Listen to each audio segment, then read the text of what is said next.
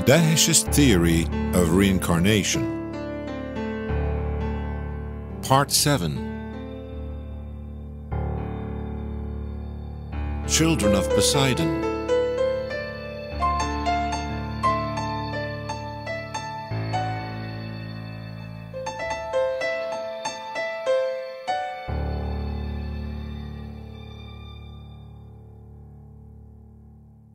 When pigs fly or leap out of water.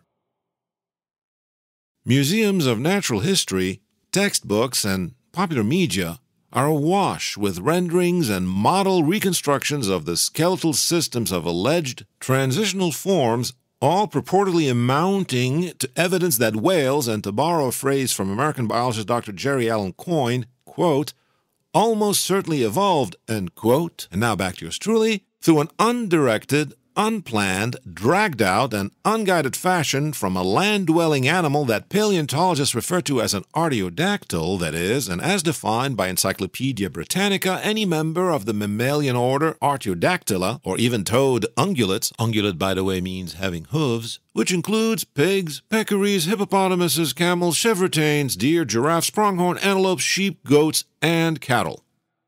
Now, what manner of rock solid evidence would lead to such an quote, almost certain unquote assertion? Since we're just getting started, and as a warm up exercise, let's review some of what Dr. Coyne revealed in his highly acclaimed 2009 book, Why Evolution is True, Chapter 2, Written in the Rocks, Subchapter Back to the Water, The Evolution of Whales, page 48. At one point, we learn that because they are prone to sunburn and, should they graze ashore in the daytime instead of feeding at night, as they would usually, hippos evolved an adaptation that protects them from the scorching sun. Basically, their skin secretes hipposudoric acid, which is a red pigment often mythologized as blood sweat, though neither blood nor sweat, that acts as a natural sunscreen and as an antimicrobial agent. Coyne writes, quote, Hippos are obviously well adapted to their environment, and it's not hard to see that if they could find enough food in the water, they might eventually evolve into totally aquatic, whale like creatures. End quote. All right. First, as a modal verb, might implies a low probability. You know, something will happen versus something may happen versus something might happen. But I suppose it takes only one random, successful, non debilitating genetic mutation to be fixed, passed on, and built upon, so on and so forth, for a quote unquote whale like creature to be born. Well, two whale like creatures to be born, actually, because how else would this new species thrive? Easy peasy, right? Sure, until, oh, I don't know, you grow up, you go to college as an architecture major, and you begin to wonder if you might not have been told a white lie. See, I can be nice. And that in actuality, untold, non deleterious, blind, undirected, random, and coordinated mutations might not even be enough. And that brings us to the main problem projecting a public image of Darwinian evolution as a foregone conclusion rather than a debate worthy hypothesis, thus removing the need to demonstrate through at least one blessed, falsifiable algorithm how blind, mindless nature can manage to assemble a never before seen body plan within a span of, say, 10 million years, which would be a geological blink of an eye, by the way, is tantamount to proselytizing in the name of scientism, a religion whose apostles, disciples, and apologists truly believe that mindless, thoughtless matter can self organize into complex, living machines. Personally, I don't have a problem with evolution, but mindless, blind, devoid of any level of intelligence evolution, despite what the science is, may, or might be saying, that I have a problem with. Now, let's analyze Jerry Coyne's statement from the point of view of Darwinian logic. First, the fact hippos are well adapted to their environment is, by Darwinian rules, due to a sequence of random mutations that perfectly matched, again by sheer dumb luck, the prevailing environmental conditions. I mean, it's not as though nature custom ordered the adaptation. That would be implying teleology, which is a proverbial pinata to materialists. And let's assume there are no deleterious mutations to worry about. These chance mutations could just as well have resulted in hippos evolving baleen instead of teeth, or beanie hats with propellers. Okay, maybe not beanie hats, but certainly propellers, and why are you laughing? Just take a look at the bacterial flagellum and prepare to be amazed. It's a sophisticated nanoscale molecular engine assembled, ooh, sorry, self assembled from many protein components. It's equipped with things such as a stator ring that generates torque using an electrochemical gradient of protons or sodium ions across the inner membrane and whatnot. So, what says this ingenious nanoscale machine could not or might not be scaled up? So, yes, using that logic, which amounts to a tautology, anything could or might be possible. And therefore, it shouldn't be hard to see that if they could find enough food in the water, they might eventually evolve into something totally aquatic, perhaps with an inboard or outboard motor that's driving a propeller like appendage. And by the way, should you ever be made to feel it isn't your place to contradict an expert, quote unquote, who is quick to flash their credentials and thus intimidate you into believing you lack the wherewithal to do so, just remind them that you don't need a degree in rocket science to know that the payload goes in front of the propulsion system. Once again, in Darwinism, anything could or might be possible. All is fluid, to quote Richard Dawkins, who in his 2009 book, The Greatest Show on Earth, made it clear there are no archetypes and that, quote, descendants can depart indefinitely from the ancestral form and each departure becomes a potential ancestor to future variants, end quote. Not to freak you out, but that alone should keep you up at night. Anyway, Jerry Coyne continues by saying, quote, but we don't have to imagine how whales evolved by extrapolating from living species. Whales happen to have an excellent fossil record, courtesy of their aquatic habits and robust, easily fossilized bones. This is one of our best examples of an evolutionary transition since we have a chronologically ordered series of fossils, perhaps a lineage of ancestors and descendants showing their movements from land to water. End quote. And so, according to standard issue ubiquitous talking points over 55 million years ago, and presumably because it is yet to be found, there lived a four legged, cloven hoofed animal, an artiodactyl, whose evolution would cause one of the branches of Darwin's tree of life to bifurcate, resulting in two separate tree branches, one leading to the modern hippopotamus of today, and another major branch that also bifurcated some 35 million years ago into two sub branches, atop of which sit on one side, baleen whales, and on the other, toothed whales. Now, process wise, fossils, nature's rare sculptural and lithographic handiwork, given that they are not the remains of the organisms themselves, but quite literally rocks, are discovered, dug up, deconstructed, then reconstructed, and, as in the case of the whale evolution story, woven into a narrative shoring up a materialistic worldview with the added irony that not all Darwinians necessarily subscribe to the scientific materialism doctrine.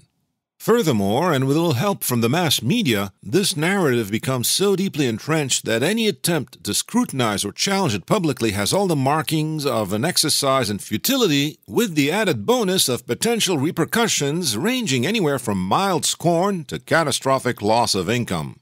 Now, and just in case you didn't know, I certainly didn't, Paleontology, which deals with the fossils of long deceased animals and plants, is an interdisciplinary field, just like architecture, I suppose, involving geology, archaeology, chemistry, biology, and anthropology. And you know what? Let's throw in speech therapy for good measure. And so it is a demanding discipline, and paleontologists for sure have their work cut out for them. After all, something as modest as a fossilized tympanic part of a temporal bone can be challenging to draw or sketch, let alone to identify and place in context of the larger skeleton or story. And that's just the beginning of trying to reconstruct how the organism might have lived or died and ultimately how the Earth has changed. For example, the fossils of ancient marine animals called ammonites that had been unearthed in the Himalayas and Nepal is how we know that the rock formations that would ultimately become the Himalayas once lay at the bottom of the ocean. And the discovery of an ancient giant shark called Megalodon is how we know that the state of Utah was probably underwater. As discussed in episode 5, this is textbook abductive reasoning. If I see a live turtle stuck atop a fence post, my most logical, rational conclusion is that, well, somebody must have put it there. So, in the case of Megalodon, either some alien species played a practical joke on us, or Utah was submerged. And by the same token, when I see a fascinating series of fossils that implies an evolutionary process, why, when I factor myriad insurmountable challenges in, should I feel compelled to cling to the notion that this evolution had to have been the result of a random, blind, and undirected mechanism, all the while dismissing with prejudice an alternative that makes more common sense? And so, my goal here is to hopefully persuade you, dear willing participant, that these so called whale fossils are a double edged sword, and, by extension, that the whale evolution narrative is not the slam dunk it's cracked up to be. And if you happen to identify as Daheshist and are wondering what on earth paleontology or this business of debunking Darwinism has to do with Daheshism, then you really need to listen to episode 6. And while you're at it, please ask yourself what the most important gift you can bestow upon your fellow human being is. Is it to proselytize that has induced someone to convert to your faith? Of course not. As I've said in a prior episode, I can attest to the fact Dr. Dahesh left written instructions that expressly forbid Daheshists to do so. Daheshists are obligated to respect a person's choice, even if that person believes that a piece of rock represents their God. Doing otherwise, and in Star Trek speak, that would be an egregious violation of the Prime Directive. Again, remember that divine prophets visited primitive civilizations and relate to them instructions and knowledge compatible with their intellectual, emotional, and spiritual even development. Now, I'm not suggesting you hold your tongue regardless.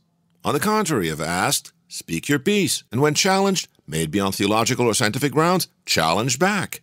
Furthermore, one of Dr. Dahesh's missions in life was to expose charlatans and educate the public. And so, and this is my opinion, Daheshists are obligated to debunk what scientific materialists are claiming, which I maintain is nothing more than smoke and mirrors. Why must we do so, particularly in the light of the quote unquote Daheshist Prime Directive, as it were? Simple. As I said in episode 3, in his book called Words, Dr. Dash wrote, quote, it would be a disgrace if you died before performing good deeds toward humanity.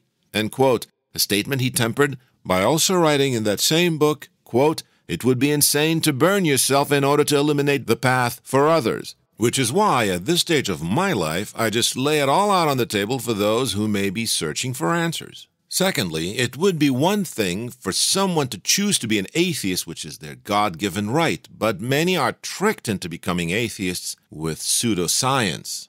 And as though it weren't bad enough that some members of the clergy are causing congregants to lose faith in God, the scientific materialists, many of whom are proud, self confessed militant atheists to boot, are distorting science and consequently unleveling the playing field. In the words of Dr. David Berlinski, who is a self professed agnostic, quote, If it should come to pass in the fullness of time that we discover that there is no explanation for life, we will have to accept it. If it should come to pass that we discover in the fullness of time that the only explanation for life is that it is a process designed for transcendental purposes by a transcendental figure, we will have to accept that too. And if that should come to pass, I would like to ask, who among us will genuinely feel diminished? Darwin's Temple of Cards. On September 8, 2022, I traveled to the Smithsonian National Museum of Natural History in Washington, D.C. Once I made it inside and passed the security checkpoint, I headed straight to the Sant Ocean Hall. There, I looked up and came eye to eye with a 45 foot long, life size model suspended at the center of the exhibit space. Touted as being, quote, perfect down to the placement of every hair and scar, end quote, and frankly, who am I to argue that claim? This culmination of a four year endeavor pays homage to Phoenix, the North Atlantic right whale, one of what is believed to be fewer than 500 remaining on the planet.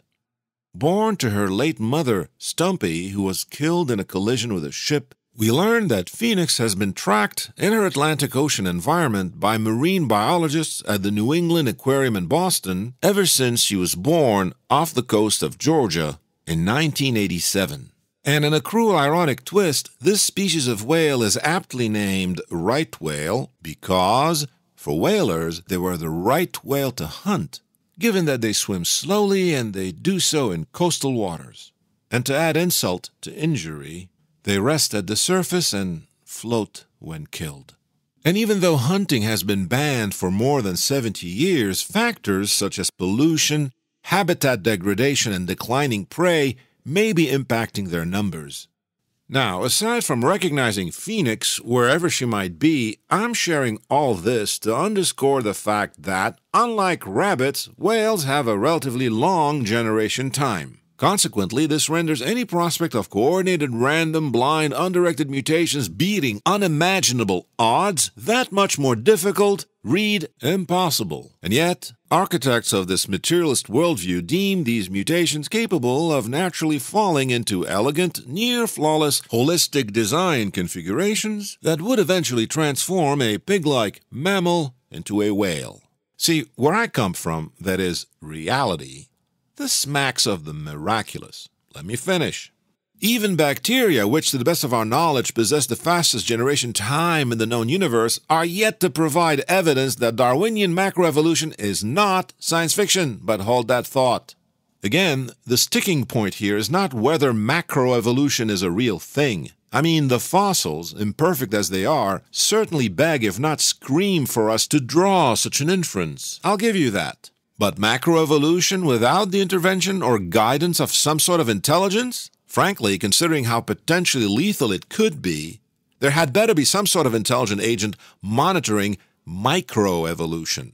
On that front, from a Daheshist perspective, there certainly is, and every outcome is the result of our thoughts and deeds, whether in this life cycle prior life cycles, again from the perspective of beings that are bound to a dimension molded by spacetime, or parallel, concurrent life cycles. Anyway, and back to the realm of plain, mundane reality, as it turns out, there's a wealth of empirical data and rational arguments that challenge atheism, naturalism, materialism, reductionism, and scientism. That is, and to paraphrase paleontologist Dr. Gunter Bechly, whom I will be telling you more about in a future episode, it is possible for a staunch neo Darwinian, atheist or otherwise, to change their views because of science, and not in spite of being a scientist. Once again, and for the record, though the majority of neo Darwinists I know of are atheists, though not necessarily militant atheists or anti theists for that matter, the Vatican has endorsed Darwinism.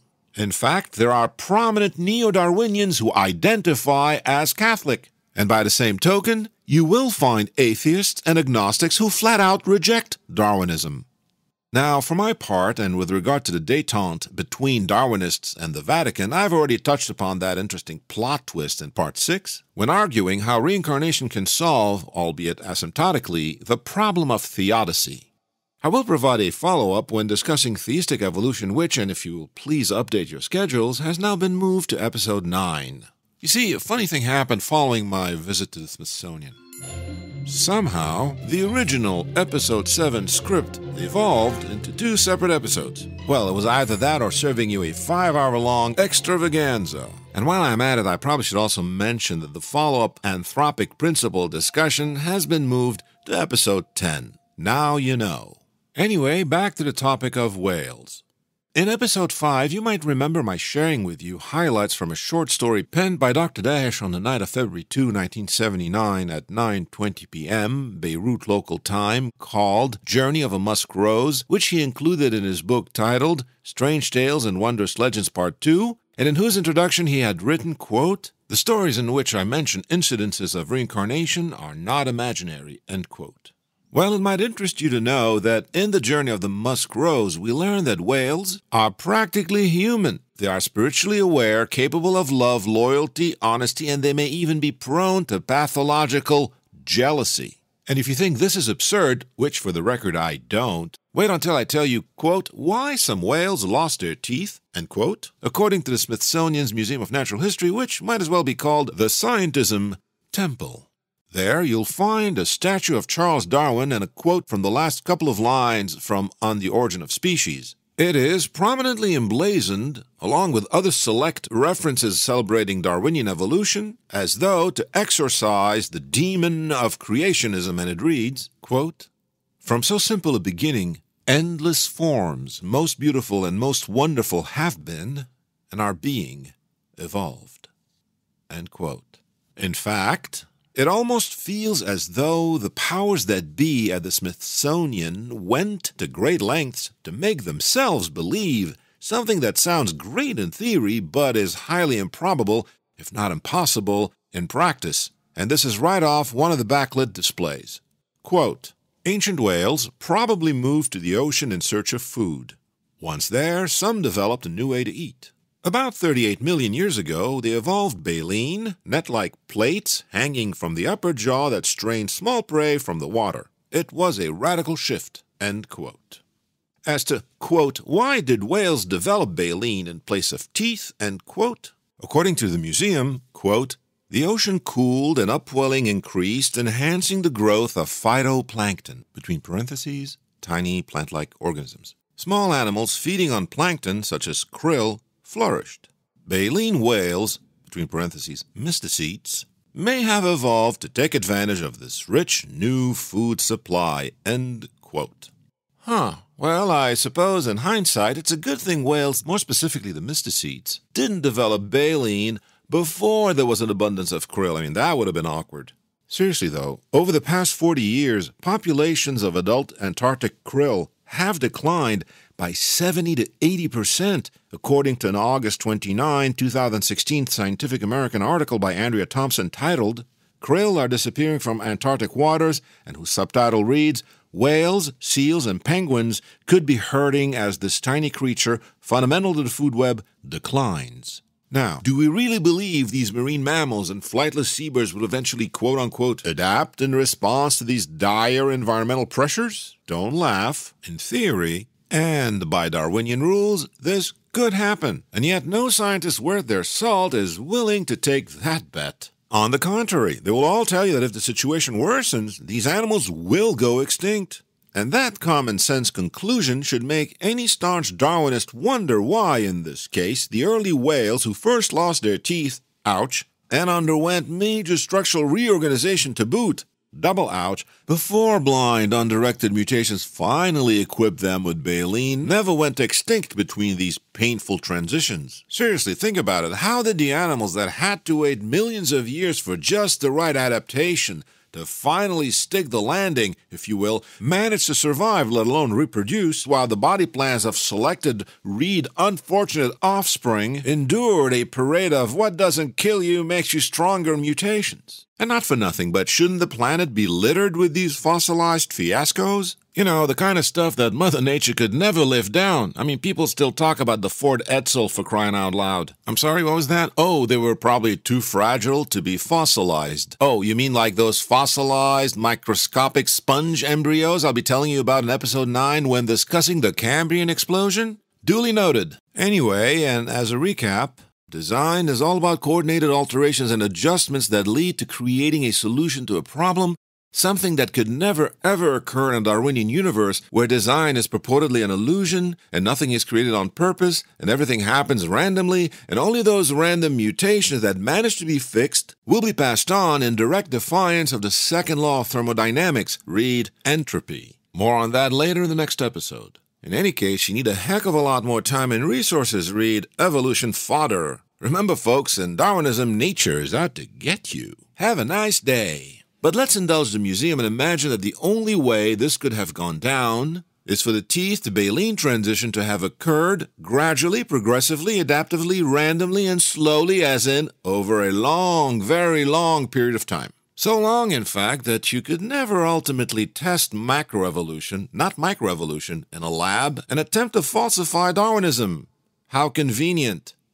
Now, I should mention Dr. Richard Lenski, an American evolutionary biologist and a John A. Hannah Distinguished Professor of Microbial Ecology at Michigan State University, who on February 24, 1988, launched what would be called the E. coli long term evolution experiment, which is, last I checked, still an ongoing study in experimental evolution at Michigan State University and currently overseen by Dr. Jeffrey E. Barrick at the University of Texas at Austin. To make a long story short, this experiment, which was a practical solution to the fact evolution takes a prohibitively long time, produced the equivalent of over a million years in the history of a large animal species like humans. To paraphrase what Dr. Michael Behe had written in his 2019 book, Darwin Devolves, which I've cited in episode 6. Quote, so not only are there the big numbers of organisms from which to get real answers to evolutionary questions, there are more than enough generations for profound changes to occur, too. Well, and here I am vulgarizing an otherwise thorough and fascinating chapter. They found out that the bacteria would undergo degradative mutation, that is, quote, one in which the loss of a pre existing genetic capacity improved the bacteria's survival, end quote. Now, this is a big deal, and we need to talk about this. Again, the operative term here is pre existing genetic capacity. Think about it. Devolution, for the sake of improving survivability, flies in the face of the neo Darwinian claim that we're constantly progressing, that is, increasing in complexity. Why? Because, well, for one thing, and imagine you're a bacterium, if you must, quote unquote, shed weight, as it were, and reduce your existing bacterium's DNA code's complexity, again, you're a measly bacterium, not a human or fruit fly for that matter, where did the original, more complex DNA come from? To paraphrase an analogy offered by Behe, imagine you have this great looking, fully equipped, heavy car, but little fuel left, and you have to make it from point A to point B. So what do you do? You strip down the vehicle to its bare essentials. Therefore, you lessen the weight. You dump ballast, if you will, and consequently conserve fuel. Anyway, and as I've indicated before, microevolution is a scientific fact. Daheshism, of course, tells us that there's an intelligence switching on and off the appropriate genes, which are ultimately made of spiritual fluids. Daheshism also tells us that nothing is random. I mean, consider that every progeny is the result of quote unquote random mutations, that is, quote unquote copying mistakes. Otherwise, we'd all be exact replicas of either our fathers or mothers. I mean, talk about send in the clones. And as we shall learn in a future episode, Daheshism also supports the notion of extraterrestrial beings upgrading, if you will, human DNA. In any case, and back to the E. coli experiment that started in 1988, the bottom line is they're still bacteria. But nevertheless, we're made to believe that if we could observe them replicating over millions of years, who knows what they might evolve into. In fact, by Darwinian standards, many of us will have eventually spawned progeny with wings because, although admission to the Smithsonian Museum of Natural History is free, parking is a definite nightmare.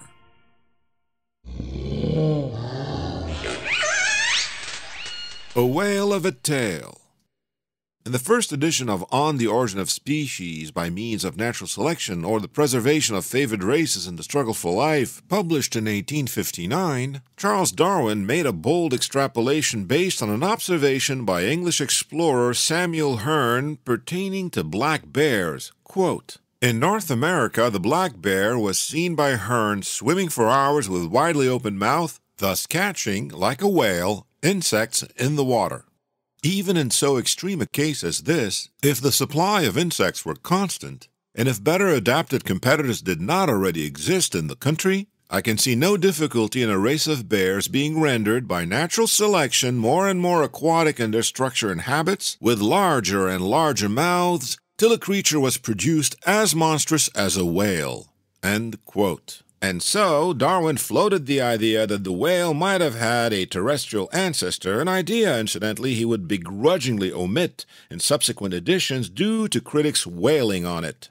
Now, will all you persnickety purists out there kindly note that I didn't say Darwin claimed that bears could become whales or give birth to them? One, that's clearly not what Darwin actually wrote. Two, there is something called the law of monophyly, which basically says, and if you'll forgive my layman's interpretation, a bear cannot produce a non bear. I mean, sure, a bear could give birth to a horribly disfigured mutant bear, courtesy of random mutations, remember those? But a whale? No, because of all things, that's forbidden. Apparently, mindless, blind nature suddenly has standards. Anyway, be ready to be called out by a Darwinian apologists should you dare suggest Darwin claimed bears can, could, may, might become whales. Instead, say something along the lines of, quote, Darwin speculated that distant descendants of bears could give rise to creatures that are more aquatic and be similar to whales. End quote. Now, if you're thinking, you're kidding me, right? How is that, at least in practical terms, not a distinction without a difference? You'd be spot on. After all, the bottom line is that we're basically talking about a really slow, really incremental bear to whale transition, assuming, of course, the ancestor of whales was bear like, which it wasn't. But that's a technicality. As I mentioned a little earlier, it was purportedly pig like. But please don't let a paleontologist ever hear you say it was a pig. Listen, I get it. We architects have our pet peeves too. Seriously, whenever I'm within earshot of someone saying cement instead of concrete or amphitheater instead of theater, I'm like, hold my T square. So, and to recap, the official story is that the ancestor of the whale had specific traits that are only found among what paleontologists call artiodactyls. More on that later. In the meantime, the bottom line here is that we've got the case of a terrestrial animal which, through successive generations altered by blind, undirected random mutations, and fixed by natural selection, would gradually schlep back to the water whence it came, to paraphrase John Noble Wilford's May 3, 1994 New York Times article titled, How the Whale Lost Its Legs and Returned to the Sea. Wilford writes, quote, Ages after some adventurous or misadventurous fish left the sea and planted the flag of vertebrate animal life on land, their descendants had it both ways as amphibians and then completed the epic transition, evolving into terrestrial reptiles, mammals, and birds. But something about the water must have kept beckoning until a few irredentists among the mammals did eventually reclaim a place in the sea. Most prominent of these mammals are the whales. According to this lavishly illustrated New York Times article, whose opening paragraph was clearly waxing poetic, new fossil discoveries would reveal, quote, several of the critical evolutionary steps in the earliest history of whales, end quote. More than that, we learn that, quote, Scientists have identified some intermediate species as land mammals steadily changed physical form while adapting to swimming, diving, feeding, and otherwise thriving in their new habitat, quote, with one surprise being that the purported, quote, transformation of four-legged land mammals into an animal completely adapted to marine life took only 10 million years, hardly any time at all in evolutionary terms, end quote. Then the article cites what Harvard University paleontologist Dr. Stephen Jay Gould had written in Natural History magazine. Quote, the embarrassment of past absence has been replaced by a bounty of new evidence and by the sweetest series of transitional fossils an evolutionist could ever hope to find. End quote. One discovery in particular was, quote, a remarkable smoking gun, end quote, according to Dr. Gould. An amphibious species, quote, clearly intermediate between a terrestrial ancestor of whales and aquatic modern whales, end quote. More on that in just a moment. In the meantime, and because this is a crucial plot point, I should mention that although Stephen Jay Gould was an evolutionist through and through, he was not of the Darwinian persuasion in the sense that he believed in the radical concept he and Niles Eldredge proposed in 1972 called punctuated equilibrium, which is the polar opposite of Darwin's gradualism. That is, the hypothesis that evolution proceeds chiefly by the accumulation of gradual changes. In contrast, punctuationism states that, and here I'm dramatizing, quote, no, the fossil record for the most part is not quote unquote incomplete. Thank you very much. Rather, these so called gaps clearly show evidence that life on Earth undergoes long periods of stability, punctuated by rapid evolutionary bursts. End quote. Therefore, three or four fossils as evidence of four-legged land mammals becoming whales in merely 10 million years, once again a mere geological blink of an eye, would have been exactly what Gould hoped to find as it corroborated a diametrically opposed worldview of evolutionary biology in which evolution undergoes periods of stasis punctuated by brief periods of rapid change. And by quote unquote brief periods, we're talking only several hundred thousand years. In any case, Unlike the Darwinian model, it does not proceed at a steady pace. Be that as it may, and to date no one has ever demonstrated or replicated how such an accelerated evolutionary rate could occur, for one thing, without the interference of a human programmer, where computer simulations designed to wow us are involved. And as we've learned in episode 6, computer simulations that supposedly mirror the Darwinian mechanism and consequently vindicate it only succeed when, at their core, they are not Darwinian. And for sure, we'll be revisiting punctuated equilibrium in episode 9. Anyway, and back to that one fossil Stephen Jay Gould dubbed a remarkable smoking gun. This purported intermediate between a terrestrial ancestor of whales and aquatic modern whales, measuring around 10 feet from snout to tail, was just, quote, what scientists would have expected to find, end quote. Basically, quote, it still had four limbs for walking on land, though probably with diminished agility. It could also hunt in the sea, probably swimming by kicking its big feet. End quote. In other words, we're talking about an alligator like creature, probably designed by a committee on account of its being a tad goofy looking. As an aside, please keep in mind that the Daheshist position is that every creature is an amalgam of spiritual fluids that have merited their assignment and, as may be the case, their predicament. But fair enough, we'll get to what purportedly made this fossil animal named Ambulocetus natans, aka the walking whale, quote, clearly intermediate, and quote, a little later. For now, I would like to recognize that it was excavated from sediments in an ancient seabed in Pakistan by a team led by Dr. J.G.M. quote unquote Hans Thewissen in January 1994.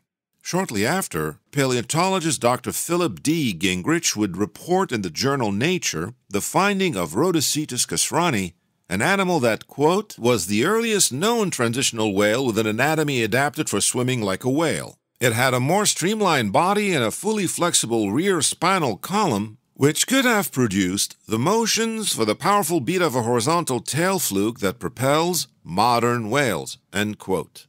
And for the record, although Dr. Gingrich said that Rodhocetus could have had a fluke tail, and although John Noble Wilford states in the article that, quote, whether Rodhocetus had indeed made this important advance cannot be determined until more complete tail fossils are uncovered, end quote, we learn that Dr. Gingrich and his colleagues concluded that the evidence, quote, shows that tail swimming evolved early in the history of cetaceans, end quote. Quick sidebar. Cetaceans are the marine mammals of the order Cetacea. They include whales, dolphins, and porpoises. But soon enough, Rodhocetus would end up sporting a fluked tail. Talk about expeditiousness, although one can't really blame Dr. Gingrich for fast tracking Rodhocetus to whale status. After all, and to quote Dr. Thewissen from a 2007 Nature video, quote, Ever since the time of Darwin, scientists have known that whales were descended from land mammals, but until very recently, about 15 years ago, the ancestors of whales were not known, and creationists had a field day because there were no intermediates. In the last 15 years, then, a number of remarkable transitional forms have been found that document the transition and morphology of these early whales very nicely. End quote. Now, before I continue, I must cry foul on account of Thewissen's assertion that, quote, Ever since the time of Darwin, scientists have known that whales were descended from land mammals, and quote, and I swear, expert paleontologists unwittingly sounding like subpar philosophers of science is why we can't have nice things. Correct me if I'm wrong, but isn't there a difference between knowing that something is true and believing that it is? Now, the way it's always been drilled into my head is as follows Knowledge implies a situation in which we perceive directly or something we have direct cognition of. Now, granted, Scientists have known since the 17th century that whales and their kin are mammals. But again, while they might have believed they were evolved from land mammals, this business of knowing they were, quote, almost certainly evolved from a species of artiodactyls, end quote, according to Jerry Coyne, would come much later. Indeed, Coyne writes in his again 2009 book, quote, How they evolved has emerged only within the last 20 years, end quote. In fact, according to a 2001 PBS video documentary, in about 1978 in Pakistan, geologist turned paleontologist Dr. Phil Gingrich found a peculiar fossil which was the back of the skull of an animal he couldn't identify. That fossil, which he eventually christened Pakicetus, was very similar in terms of morphology and scale to a wolf skull. In fact, to Gingrich's expert eyes, this fossil had surely belonged to a creodont, that is, an extinct carnivorous land mammal considered to be ancestral to modern carnivores, or so he thought. Apparently, there was something strange about this skull. On its underside, there was a walnut sized bump, which was part of Pakicetus's inner ear, and according to the documentary, it, quote, had a distinctive shape, a shape found today in only one kind of animal whales. What was the ear of a whale doing on the skull of an animal that resembled a wolf? Gingrich was intrigued, so he constructed a model of what the creature's full skull might have looked like. Gingrich then wondered if he had found a crucial missing link. That is, quote, the first fossil evidence ever found for one of Darwin's most daring claims that whales had evolved from land mammals. To know for sure, more fossils needed to be found so that they constitute transitional forms, showing each stage of the quote unquote whale transformation. Quote, I want to line them up. I want anyone to be able to see it and believe it because they've seen it. End quote, said a resolute Gingrich. Then, in the video, we learn about Basilosaurus, a 40 million year old creature already known to science, which lived full time in the water and, as it turned out, had small vestigial bones, a pelvis, a kneecap, and toes even, that suggested at one point it had legs. Therefore, and for all intents and purposes, and according to Gingrich, quote, for the first time, we've got whales that have legs, end quote.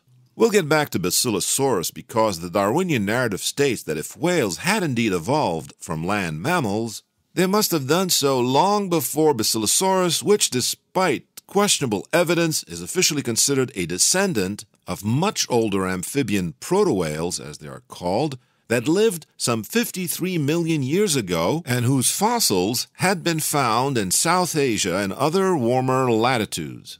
Is Basilosaurus a descendant, though? We'll take a closer look at that claim in moments. In the meantime, the official story is that since Dr. Gingrich first discovered Pakicetus, quote, the list of known transitional whales has grown, end quote, to include, in order of appearance on Earth, Ambulocetus, Rodhocetus, Dorudon, and Basilosaurus. Not only that, but these transitional forms purportedly reveal, quote, another element of whale evolution, the gradual migration of nostrils to the top of the head as whales adapted to breathing in the water. End quote. All right, so in addition to fins and flukes for swimming, the nostrils gradually became blowholes, all without the help of any sort of intelligent agent.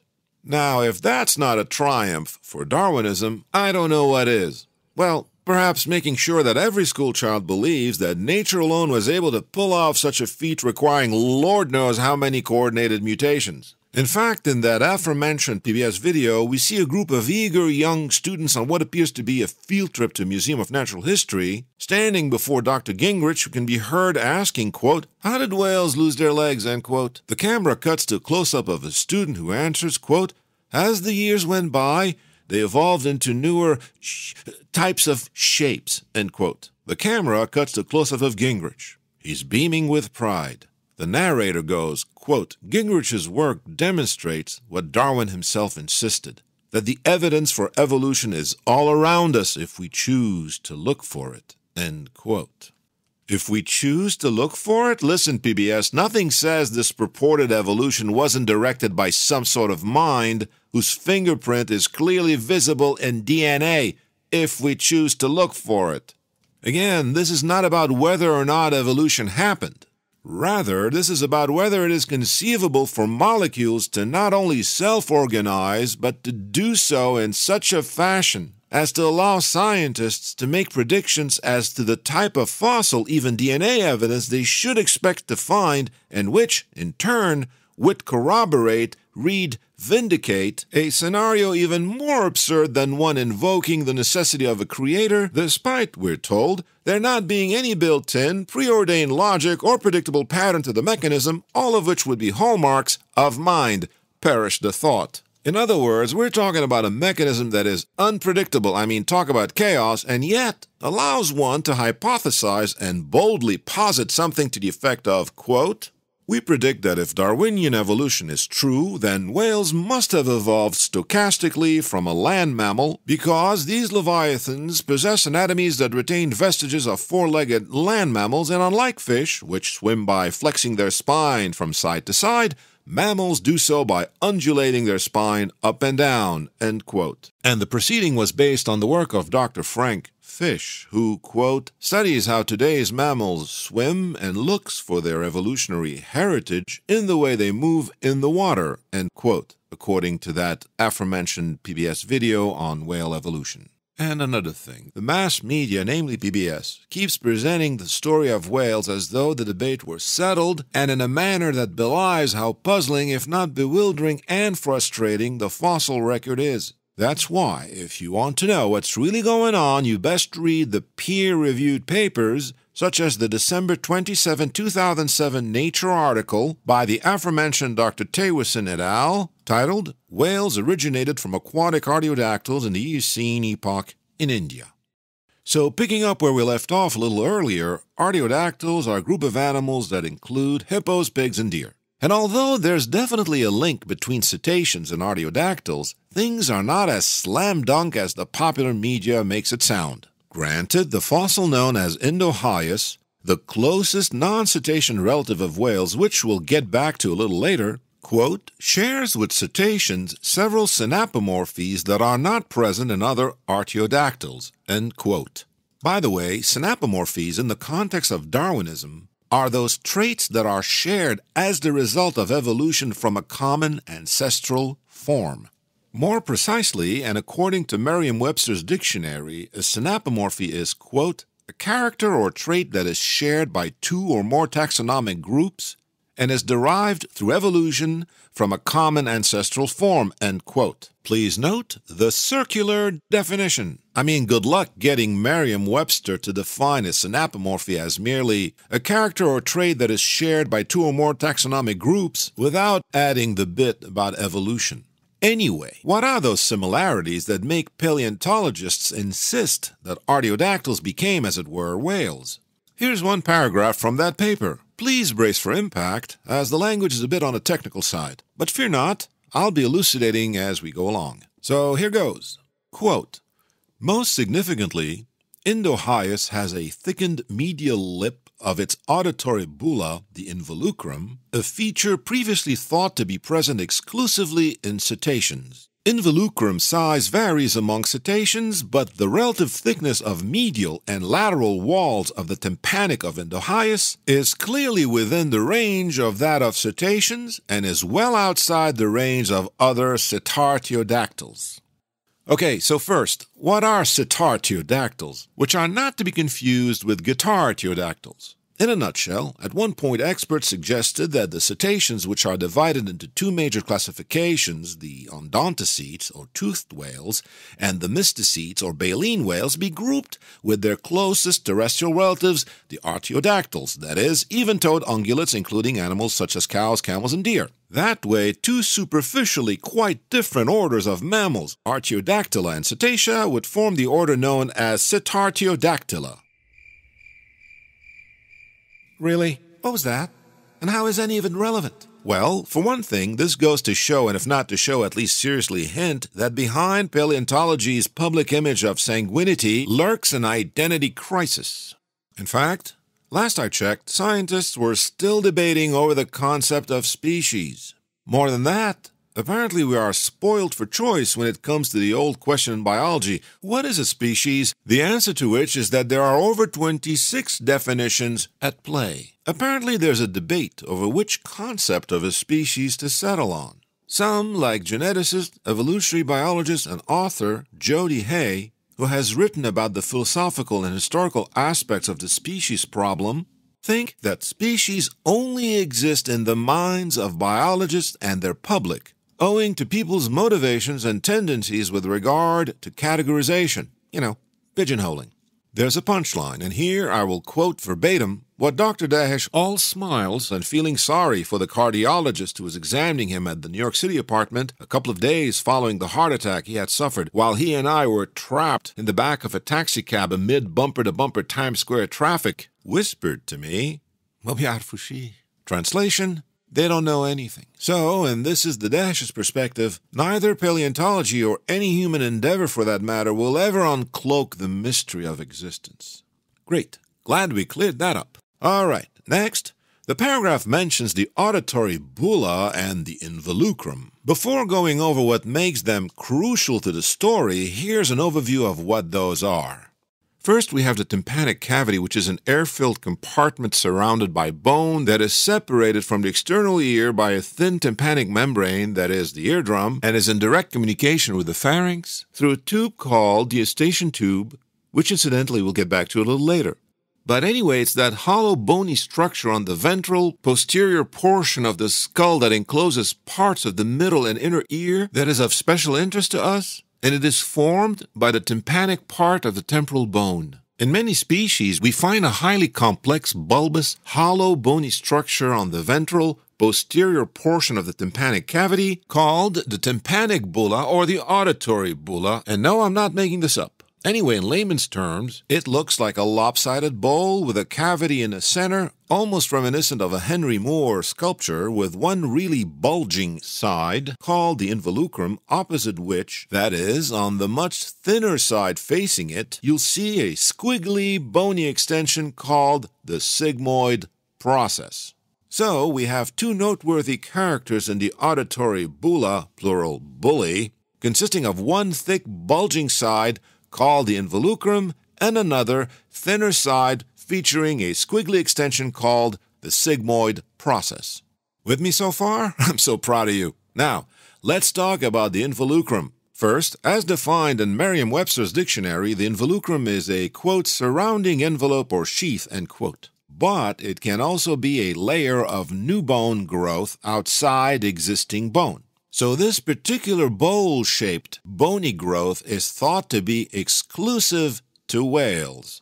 Thus, according to Hans Thewissen, the involucrum is, quote, diagnostic for whales and their relatives, dolphins and porpoises, and is also present in all fossil whales and not in other mammals, end quote. Now, what about the squiggly, bony extension called the sigmoid process? According to Thewissen, and in reference to the fossil of Ambulocetus, Let's not forget him, for he's our quote unquote smoking gun. Quote, that character is a little bit more tricky because it's present in all whales for its own reasons, but it's also present in some animals that are not whales. End quote. You don't say. We'll get back to the sigmoid process and Ambulocetus shortly. In the meantime, and moving along, the paper reads Quote, Other significant derived similarities between Indohyus and cetaceans include the anteroposterior arrangement of incisors in the jaw and the high crowns in the posterior premolars. End quote. All right, so the bottom line is that Indohyus has two characteristics, one in its ear and the other in its teeth, that we only see in whales. Thus, and so far, this seems to be a slam dunk until we proceed to the next paragraph titled characterizing Cetacea. Quote, Until now, the involucrum was the only character occurring in all fossil and recent cetaceans, but in no other mammals. Identification of the involucrum in Indohyus calls into question what it is to be a cetacean. It requires either that the concept of cetacea be expanded to include Indohyus, or that the involucrum cease to characterize cetaceans. End quote. Then the authors write, quote, characters identified as synapomorphies for cetacea in some of our most parsimonious trees include long external auditory meatus, end quote. Incidentally, a meatus is a fancy name for a passage or opening leading to the interior of the body. Anyway, and so on and so forth, that is, they list some characters. Then they write, quote, None of these features characterize all modern and extinct cetaceans. The dental characters, for instance, cannot be scored in toothless mysticetes. Again, mysticetes are the baleen whales. And they write, quote, In addition, all these characters are found in some mammals unrelated to cetaceans, end quote. So there are characters which are identified as synapomorphies for cetacea in some of their most parsimonious trees that are found in some mammals unrelated to whales? And so, aside from assuming common ancestry, how do they actually demonstrate it? how is their conclusion that these are indubitably whales not based on their selecting or favoring the evidence that confirms their presuppositions? That is, their a priori beliefs. In other words, this is a textbook case of confirmation bias. I mean, talk about pulling the whale over our eyes. Oh, I'm picking on paleontologists, am I? I tell you what, let's get back to this business of the sigmoid process and, come to think of it, the apparent migration of the blowhole up the snout. In one December 8, 2014 video segment published on YouTube by Thewissen himself, titled Dr. Hans Thewissen Introduces the Walking Whale Ambulocetus natans, Hans Thewissen reveals to Jeff St. Clair, host of NPR's All Things Considered, who had co written the script for the aforementioned video, that the skeleton of Ambulocetus that was hanging from the ceiling was in fact a reconstructed plastic copy of the original, heavier fossil, which was, come to find out, incomplete. As common with fossils, we did not find all of it, Thewissen said, adding, quote, We didn't find the tip of the snout. We only found part of the forelimb and part of the hind limb, and we did not find much of the tail, end quote. You know, this calls for an instant replay. We didn't find the tip of the snout. Please put that on the back burner if you don't mind. Well, if you didn't find all of it, how did you build this? How do you know what to reconstruct? asks St. Clair, to which Thewissen replies, quote, Right. What you do is look at closely related animals and you use their shapes to infer what those parts should look like. End quote. So once again, Thewissen never found the tip of Ambulocetus' snout, which is why when St. Clair asked him, as per the script they both had written, quote, you know, I don't see any blowhole. I mean, whales have a blowhole. End quote. To which Thewissen responds, quote, That's true. Modern whales have blowholes, which is clearly not in this guy. But we don't actually know where the nose opening is in this whale. End quote. How interesting that Dr. Thewissen would say that. We'll get back to this later. In the meantime, how do we know this is a whale? We know this is a whale because of its ears, says Thewissen, who proceeds to place on the table a small quote unquote lump of bone, which is supposed to be the auditory bulla, that is, again, the tympanic of Ambulocetus, which supposedly features both the involucrum and sigmoid process. And for clarity's sake, he places next to it the auditory bulla of a bowhead whale and proceeds to point out how they identified that it had a sigmoid process, which, I repeat, Thewissen qualified as being, quote, more tricky because it's present in all whales for its own reasons, but it's also present in some animals that are not whales, end quote. So to recap, Ambulocetus hailed as the walking whale, definitely, we're told, although it's not so clear from that quote unquote lump of bone, had an involucrum like all whales, as well as a sigmoid process, like all whales and some mammals, though we're not clear on whether or not it had a blowhole. Because, and let's hear that instant replay again. We didn't find the tip of the snout. Now, let's contrast this with an earlier May 19, 2014 YouTube video segment featuring an interview actually shot in 2013 titled Dr. Hans Thewissen interviewed about walking whale Ambulocetus, and which is an excerpt from a television series called Evolution the Grand Experiment whose executive producer is Dr. Carl Werner, who had authored a book also called Evolution the Grand Experiment, first edition 2007, third edition 2014, and who had received his doctoral degree in medicine at the age of 23. In the video segment, which again was shot in 2013, Thewissen discusses, among others, the finger-like sigmoid process that all whales, dolphins, and porpoises possess, and this time, thanks to the extreme close-up shots, we get a closer look at that same quote-unquote lump of bone upon which the whole case seemed to rest. Well, as it turned out, in this particular case, because and in reference to the involucrum, quote, this one is somewhat crushed, usually it has a cavity in the middle, end quote, we can't actually discern the bowl-shaped cavity, and the outside ridge, the alleged sigmoid process, is not finger-like. Then Dr. Werner asks, quote, now, is that sigmoid process unquestionable? Because on Pakicetus, there was some questions about that one. It was more like a plate or something, end quote. Again, and if I may jog your memory, the discovery of Pakicetus, the wolf-like fossil with, quote, the ear of a whale, end quote, by Dr. Phil Gingrich, is what led to the assertion that whales couldn't have been created or were the result of directed evolution, but had to have evolved according to Darwinian rules from land mammals within a span of only around 10 million years. Yeah, I know, the PBS documentary says, why did it take so long? Well, believe it or not, and in the big scheme of things, it didn't. Anyway, what was Dr. Werner referring to? Meet Dr. Zhexi Luo, as we speak, professor of organismal biology and anatomy at the University of Chicago, who, from May 1995 to January 2012, was curator and associate director of section of vertebrate paleontology at the Carnegie Museum of Natural History. In 1998, he contributed Chapter 9 titled Homology and Transformation of Cetacean Ectotympanic Structures which you can find in the 1998 book titled Emergence of Whales Evolutionary Patterns in the Origin of Cetacea, edited by J.G.M. Thewissen. In section 3.1, titled Pakicetids, page 283, paragraph 3, Dr. Luo confirms that, quote, cetaceans, including pakicetids, have only one unambiguous bullar synapomorphy that is absent from all non cetacean mammals, the involucrum.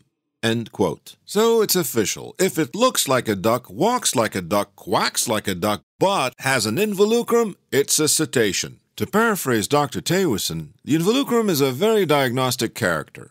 Next, Dr. Luo writes, quote, Other diagnostic characters, such as the sigmoid process, as discussed below, are now open to question in the wake of the new fossil evidence from Pakicetus and Ichthyolestes. End quote. Ichthyolestes, by the way, means fish thief.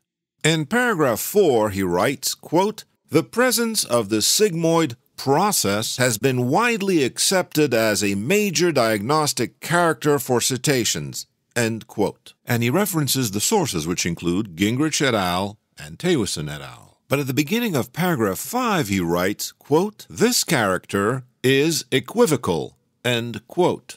And he goes on into a detailed comparative description, briefly explaining why the sigmoid process has become a more prominent, independent projection in cetaceans. And then we read, quote, In view of the new evidence from Ichthyolestes and Pakicetus, open parenthesis, that the sigmoid is a simple plate, not S-shaped and lacking the involuted margins, close parenthesis, end quote, so on and so forth, until we get to the following statement. Quote, the sigmoid process should be redefined as a systematic character, and its value as a cetacean synapomorphy should be reconsidered.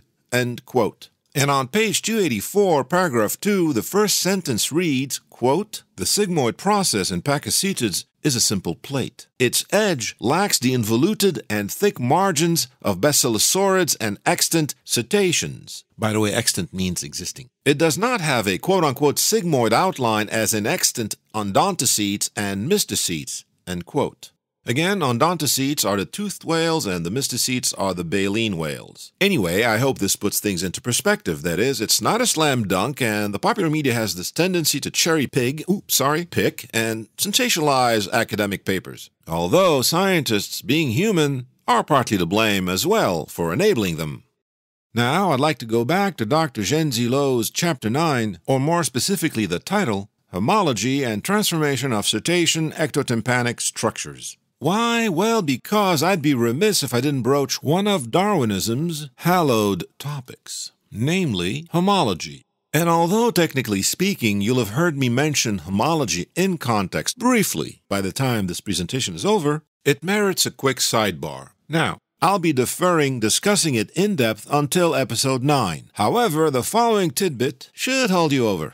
The long and the short of it is that species that look pretty different on the outside, while sharing a unique physical feature such as a complex bone structure or body plan, may all have inherited this feature from a common ancestor. And so, physical features such as the forelimbs of humans, whales, birds, and dogs that are assumed to be shared due to Darwinian evolution are described as homologous. Therefore, though decidedly different on the outside, if we look at their respective bone structure, we find similarity across these species, which suggests that it would be unlikely such similar structures had evolved independently in each of these species Ergo, the likelihood of a common ancestor of humans, whales, birds, and dogs. Well, it's either a common ancestor or a common designer. And who wants that, right? As to why it would be unlikely for such homologous structures to have evolved independently in each of these species, consider the odds of getting one tree of life going. Furthermore, please consider that this tree of life purportedly started off from one universal common ancestor, that original life form whence all life forms evolved, which then grew a multitude of major and minor branches and subbranches and what have you, which then led to the introduction of many distinct subsequent common ancestors, which in turn were responsible for the panoply of creatures possessing physical similarities that are not necessarily homologous, but, wait for it, analogous, being that they evolved independently in different organisms in different parts of the same tree. And yes, my head is spinning too. The upshot is that homology is cited as evidence of evolution, and evolution is cited as evidence of homology. And so, for Darwinists, it's either promulgating this sort of circular definition and, as we've learned in episode 5, remaining steadfast in their a priori commitment to materialism, or once again run the risk of allowing, quote, a divine foot in the door, end quote, to paraphrase Richard C. Lewontin. Anyway, and back to the matter at hand, evolutionists really want these so called whale fossils to be evidence of random, undirected evolution that happened in around 10 million years, which is highly improbable. Aside from that, and as we'll learn shortly, there might be a slight issue with the temporal sequence. But back to the peer reviewed paper. To my mind, and I encourage you to read that Nature article by Dr. Thewissen et al., this is a clear case of, and here I'm dramatizing, this is what we think, but you be the judge. Again, don't let us influence you or anything. We just want you to decide for yourself that we're right. Please, because research funding doesn't grow on trees. Well, not yet anyway.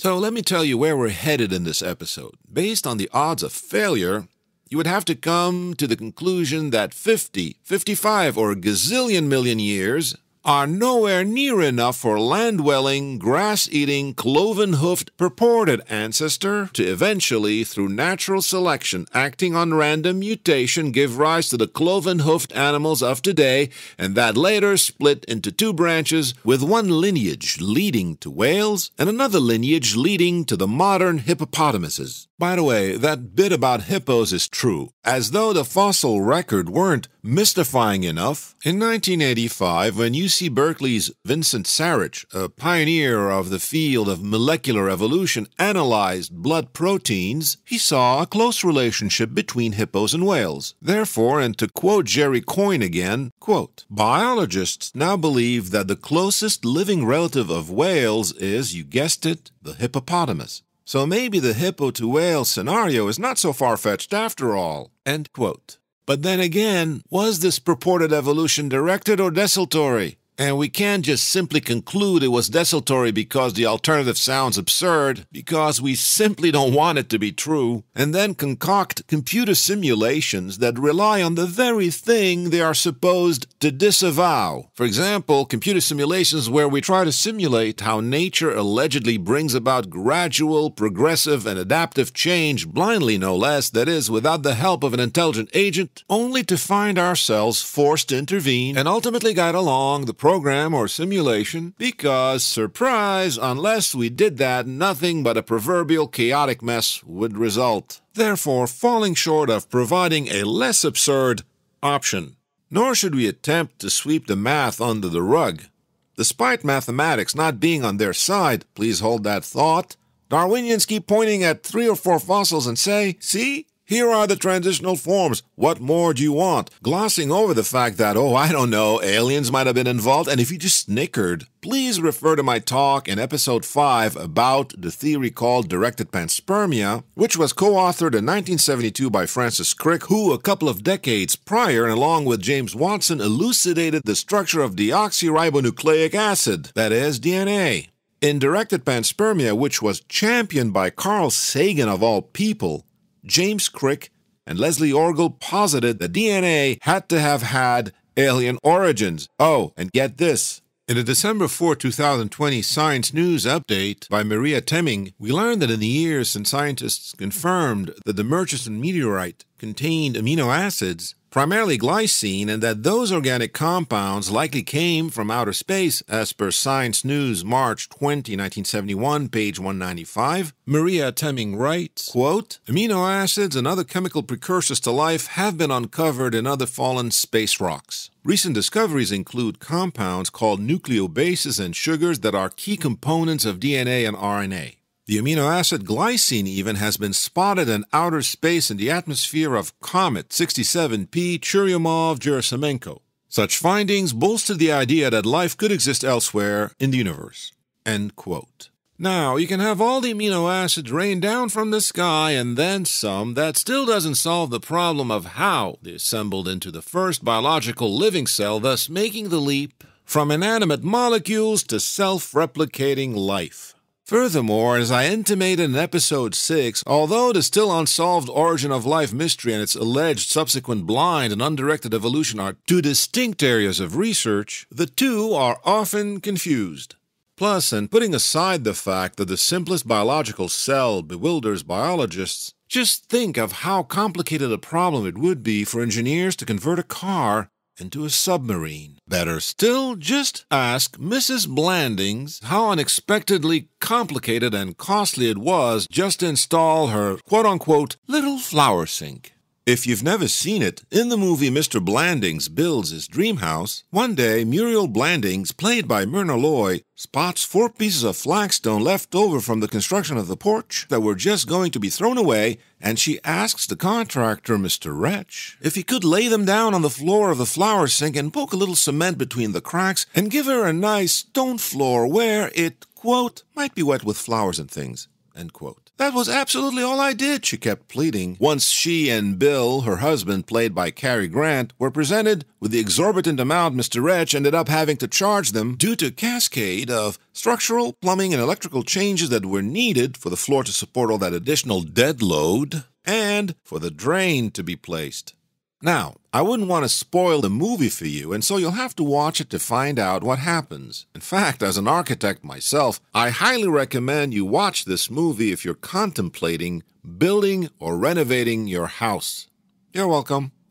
But let's get back to this pesky math problem facing Darwinians. First, for land mammal to successfully transition to a fully aquatic environment, you, quote, have to have the coming together of a number of adaptations, and that is unfathomably complicated, end quote, according to Dr. Richard Sternberg, whom I spoke about at length in episode 6.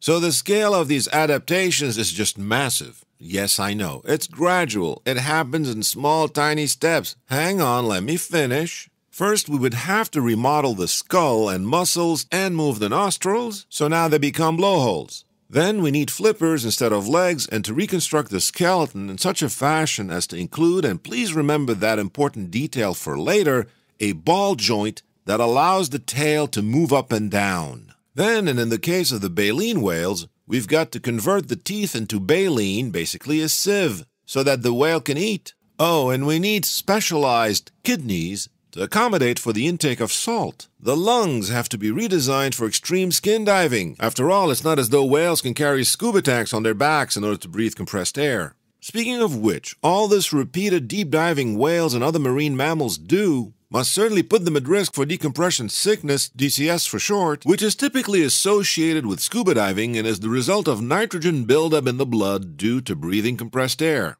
However, Given how deep and for how long whales dive, and aside from the fact they eat professional deep divers for breakfast, lunch, and dinner combined, they most definitely, at a minimum, qualify as scuba divers and thus are potentially prone to DCS. Basically, DCS, also known as the bends, owing to the fact you will soon find yourself lying on the ground bent in a fetal position, writhing in excruciating pain should it afflict you, which is why you should never dive without proper training and certification. And welcome to another episode of Mario Ruins Everything, is an illness that is the result of the rapid release of nitrogen gas from the bloodstream, which causes bubbles to form in the blood and other tissues when a diver either ascends to the surface of the ocean too rapidly, holds their breath while ascending, stays too long at certain depth, or any combination of the above. The main culprit here is the necessity of breathing air that is pressurized to more than one atmosphere when scuba diving.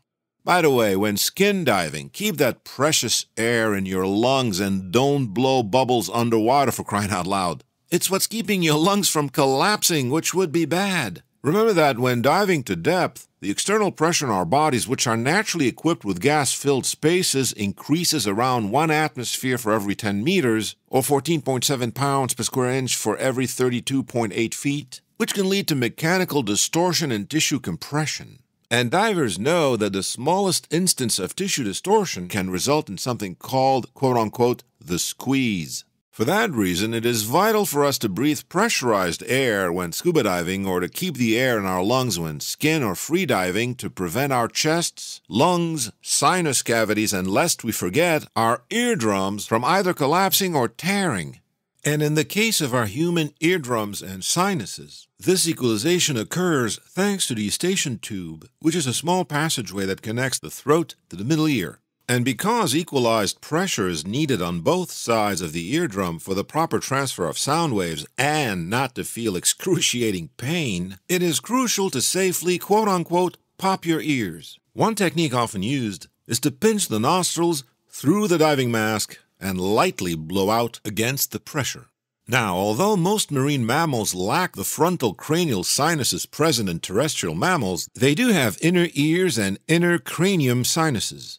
And according to an August 21, 2006 Scientific American article titled, quote, How do deep diving sea creatures withstand such huge pressure changes? End quote. In some cetacean species, the general consensus seems to be that the middle ear cavity is, quote, lined with an extensive venous plexus which is postulated to become engorged at depth and thus reduce or obliterate the airspace and prevent development of the squeeze. End quote. And according to the article, cetaceans also have large eustachian tubes communicating with the tympanic cavity of the ear and the large pterygoid sinuses of the head. Quote, These air sinuses of the head have an extensive vasculature which is thought to function in a manner similar to that of the middle ear and facilitate equilibration of air pressure within these spaces. End quote.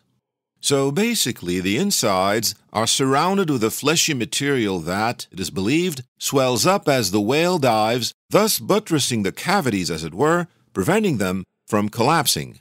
And most of us know how nearly useless our human ears are below the surface of the water, which is five times denser than air.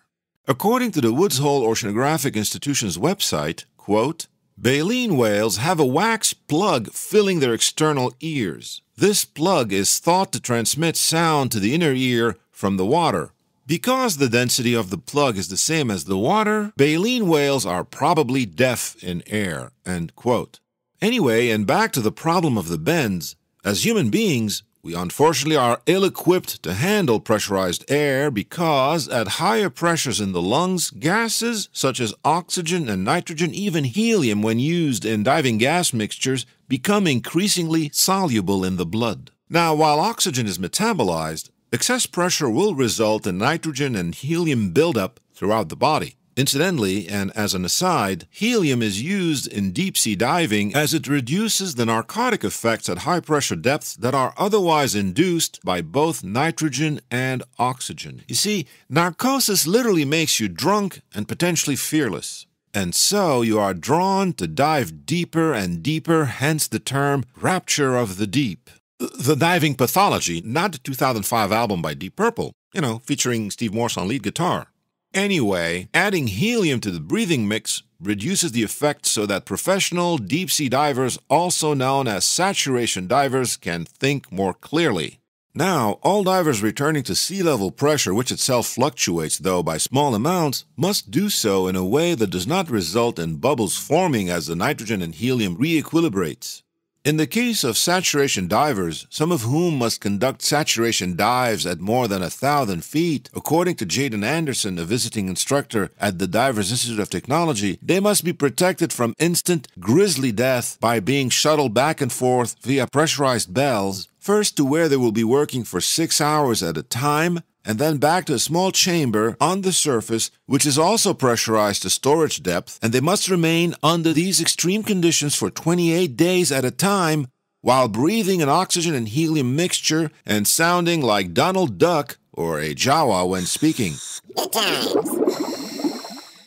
On a very serious, somber note, and just to illustrate how risky a career saturation diving is, there's a June 30, 2021 Daily Record online news article by Emma Gritt, whose headline reads, quote, Deep sea divers blood boiled in seconds as bodies explode in grisly disaster, end quote, with the following subheading, quote, the Herring Byford dolphin accident of 1983 saw five men lose their lives in the most horrifying way 508 feet below the surface of the North Sea when a compression mechanism malfunctioned, causing their bodies to explode instantly. End quote. And so, consider what follows as a public service message that will hopefully dissuade, once again, some of you from ever scuba diving without proper training and certification.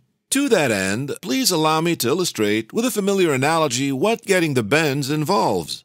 You know how when you pop open a bottle or a can of soda, it fizzes? Bingo. Similarly, and in this case, nitrogen gas forms bubbles, accumulates, and saturates the muscles and blood, triggering excruciating pain and bringing on the bends, a condition that can also cause injuries involving the nervous system. Read permanent paralysis. And once again, we're going over the physics behind the bends because we're trying to turn a land dwelling herbivore into a full time carnivore by A, imagining that Darwin never made a mistake in assuming that small genetic differences are somehow preserved, so that over the millennia, intergenerational differences would accumulate, thus eventually transforming one species into another, and B, and in the case of whale evolution, there was enough time for that to happen. In other words, we're playing devil's advocate. Anyway, there are three ways divers can get the bends. One, by ascending too fast, which causes the otherwise compressed gases to be turned loose, as it were, which can lead to some of these gas bubbles being released into the arterial circulation and cause arterial gas embolism. Two, if the diver holds their breath after breathing compressed air while ascending or swimming towards the surface. Even if they do so slowly, the air in their lungs will expand and rupture lung tissue, causing pulmonary barotrauma, which can lead to, again, arterial gas embolism. Now, let's say as a recreational scuba diver, you do everything by the book except that you stay too long at a particular depth. Whoops, you've just entered decompression diving territory where, just like technical divers, you're required to make one or more stops during your ascent to give your body time to safely release the gases such as nitrogen that dissolved into your tissues during the dive. And so, if you ascend without abiding by the strict protocol that professional divers are trained to follow as the decompression chamber for you, assuming there's one nearby, you survive the intolerable pain and are not permanently disabled by the time you're placed, I mean shoved, inside one. Again, the deeper you dive, the quicker gas dissolves into your tissues, which is amplified by how long you stay at any given depth. Under normal no stop or no decompression diving conditions, as you ascend slowly, the nitrogen gas in your tissues undergoes off gassing, it dissolves into your lungs, and is expelled from your body through normal breathing. Now, provided the amount of dissolved gas is within certain limits, you can ascend to the surface without any required stops. That being said, even in no decompression diving, it is recommended you hover at 15 feet for 3 to 5 minutes as a safety practice. Now, like I stated earlier, whales don't scuba dive, rather, they free dive. And while it has generally been accepted that free divers need not worry about the bends, please be aware that one is potentially at risk of getting the bends when free diving, that is, aside from the problem of the lungs collapsing due to an increase in pressure. In fact, both human and whale lungs, which had been inflated to capacity at the surface, will have collapsed by the time a depth of 200 meters is reached. And yet, sperm whales, for example, which feed on giant squid, regularly dive 1,000 to 2,000 meters deep. Wow, that's deep, you say? Hold on. A 2014 study that used satellite linked tags to follow the dives of eight beaked whales off the coast of Southern California revealed that the deepest whale dive recorded so far was made by a Cuvier's beaked whale, whose normal dive depth would be 2,000 meters. That's 6,561 feet, 8 and 3 16 inches. However, this bad boy broke the record for diving mammals by reaching a depth of 2,992 meters, or 9,816 feet, 3 and a quarter inches. Also, according to that same study, the longest dive lasted 137 minutes. And if you think that's impressive, according to a 23 September 2020 study published in the Journal of Experimental Biology, which analyzed 3,680 dives from 23 satellite linked tags deployed on Cuvier's beaked whales, the researchers recorded two extremely long dives from one individual of 173 and 222 minutes. In her article, Secrets of the Deepest Diving Whales, published on London's Natural History Museum's website, Katie Pavid writes, quote, Around 2,000 meters below the surface, the water is freezing, black, and seemingly unpenetrable. No light reaches the murky depths, and no human could survive the crushing pressure from the water above. It is easier for a person to exist in space than it is to explore the ocean floor at such depths. End quote. Now, I don't particularly agree with that assessment. Based on my research, it seems to be a wash.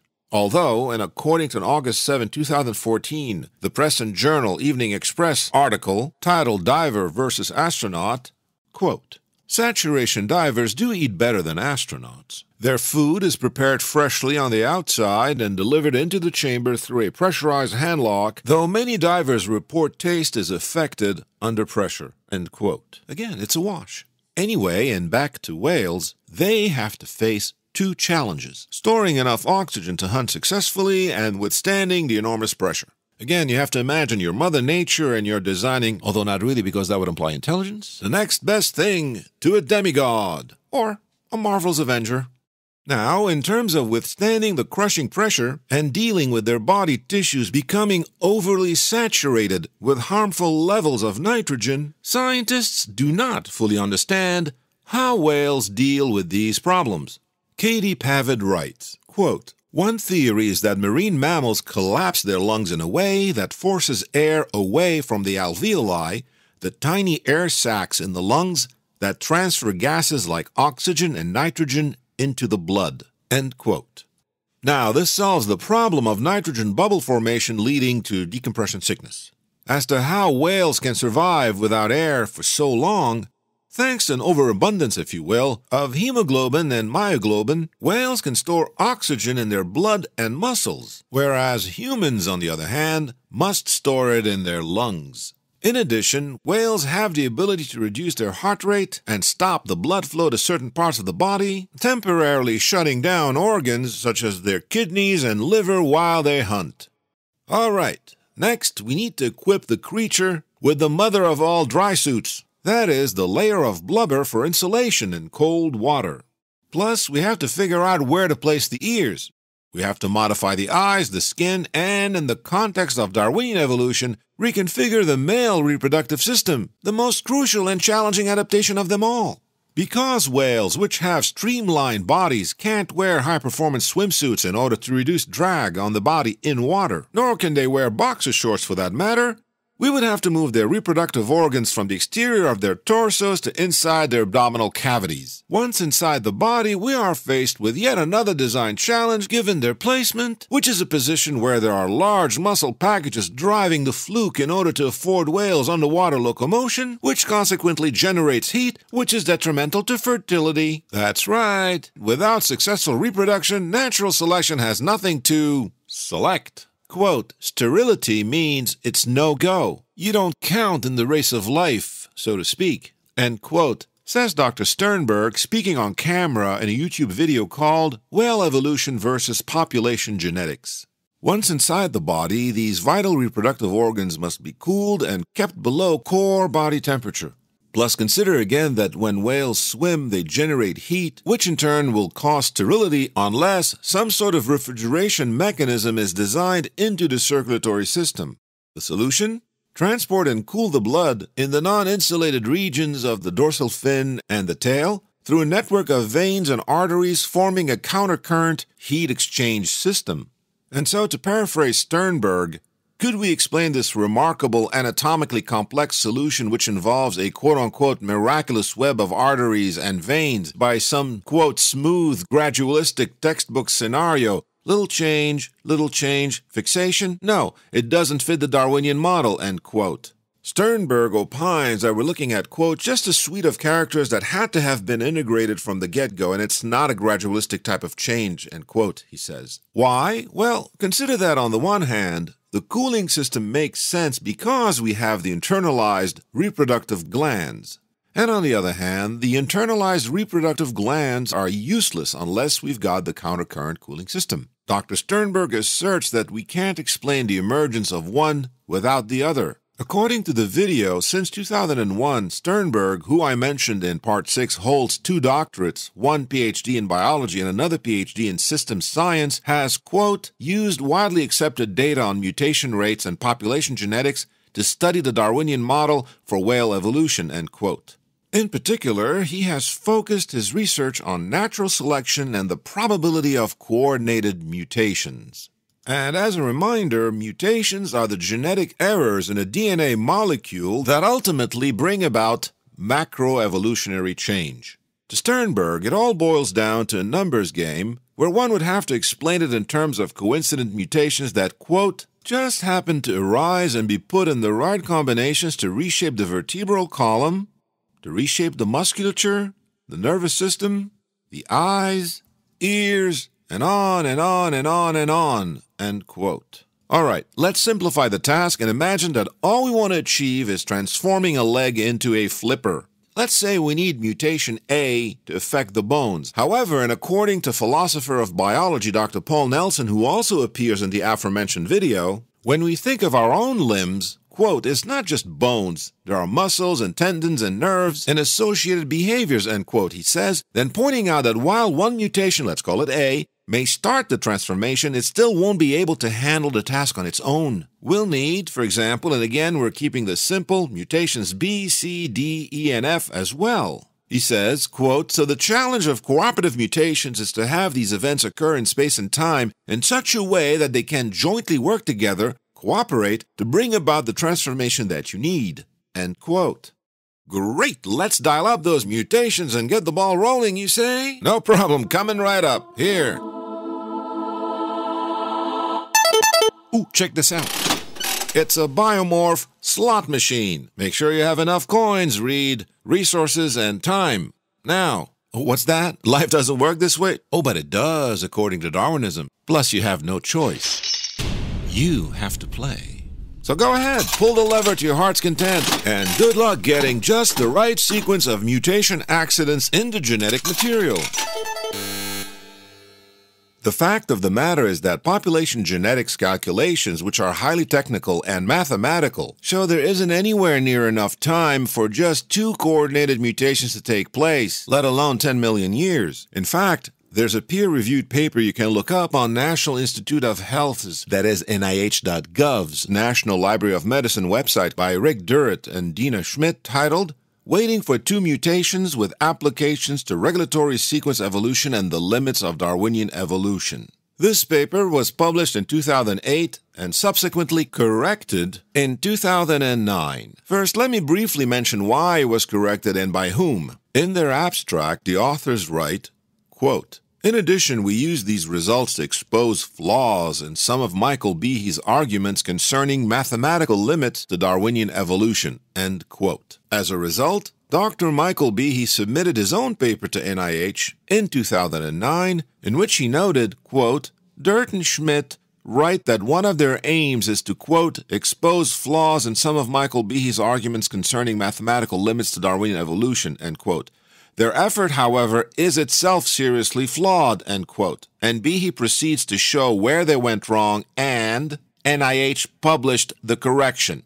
Now, back to the original paper, whose manuscript was submitted by Cornell University's Department of Mathematics and Center of Applied Mathematics on September 30, 2007, and accepted for publication on August 19, 2008, and finally published in Genetics in November 2008. Right before chiding Michael Behe, the authors wrote, quote, Consistent with recent experimental observations for Drosophila, by the way, that would be a fruit fly to you and me, we find that a few million years is sufficient, but for humans with a much smaller effective population size, this type of change would take, and then they use the mathematical symbol denoting greater than, followed by 100 million years. End quote. All right, so if it takes over 100 million years for two, just two cooperative mutations to be established in a population of humans, how does that square with the claim that a mere 10 million years are enough for the theorized evolution of a land dwelling animal into a whale?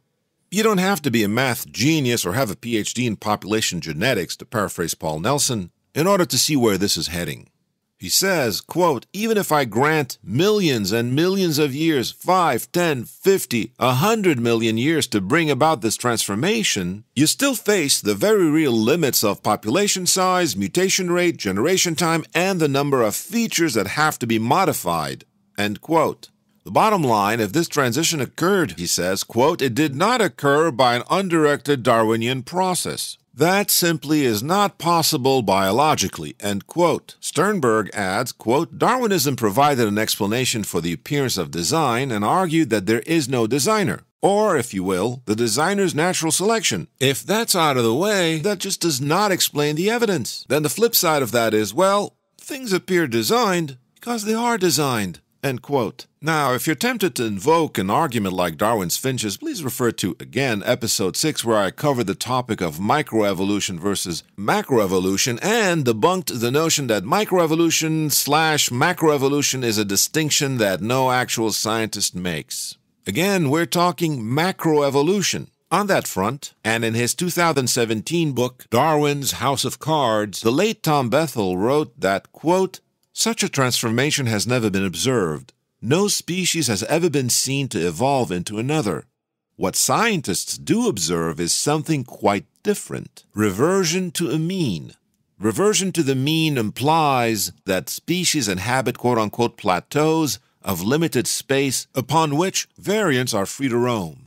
Artificial selection can quote unquote push varieties to the edge of the plateau, but they cannot be pushed off it or be made to invade the terrain of adjacent species. No experiment has shown us otherwise.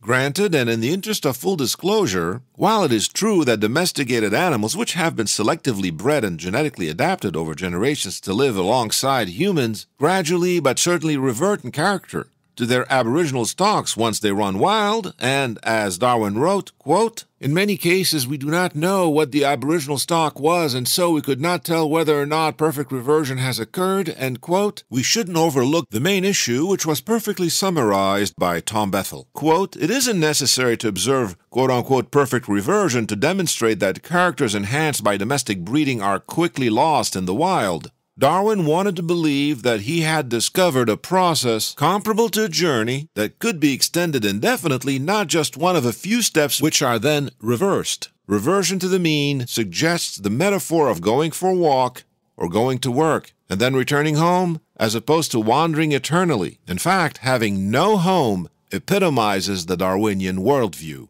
End quote. A Tale of a Whale, or How to Get a Paleontologist to hate you.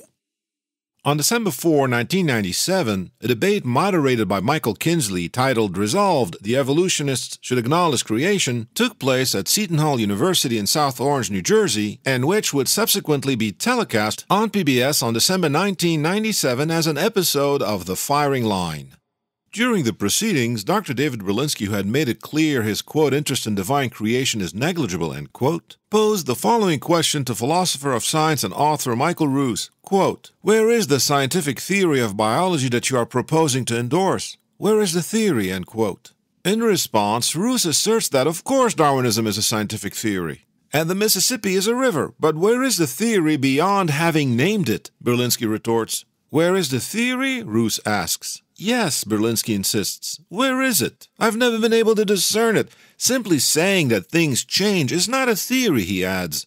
And after a couple of back and forths, Berlinski said, quote, With respect to the great aching global questions of life, where is the theory that you propose as an explanation? Does it go beyond the mantra random mutation and natural selection, or is there some solid theory that a physicist would recognize that an engineer can implement? End quote. Ruse retorts that, of course, Darwinism is a global theory. By way of evidence, he cites, among others, Darwin's finches, which, incidentally and once again, and as I have argued in episode 6, pertains to microevolution and not macroevolution, which is what Berlinski was trying to get Michael Ruse to shed light on. And if you remember, macroevolution is where the purported generative power of the Darwinian mechanism of natural selection acting on random mutations supposedly lies. That is, the power to introduce new body plans which, and to paraphrase Richard Dawkins, reflect the evolutionary view of life as one in which, and I know I said this early on in this episode, but it bears repeating, quote, descendants can depart indefinitely from the ancestral form, and each departure becomes a potential ancestor to future variants, end quote. Therefore, we're not just talking about different breeds of dogs or cats or finches whose beaks change in shape and size. Again, that's microevolution. Whereas Berlinski was expressing doubt in macroevolution, the few whale fossils presented as evidence notwithstanding, a couple of which, come to find out, were apparently, how should I put this, creatively manipulated by the paleontologists who discovered them in order to maintain the continuity of the whale evolution narrative thus creating the illusion that these quote unquote missing links showed a complete transition between land living ancestors and marine whales. Surprised? Oh, don't be. The practice of manipulating evidence to keep the world safe for Darwinism is not without precedent. In fact, let's take the case of German zoologist and highly gifted graphic illustrator Ernst Haeckel, who in the 1860s proposed the biogenetic law which posits that the stages that an animal embryo undergoes during development represent a chronological replay of that species' past evolutionary forms. To quote Elizabeth Holmes from her May 3, 2014 article titled Ernst Haeckel's Biogenetic Law, between parentheses 1866,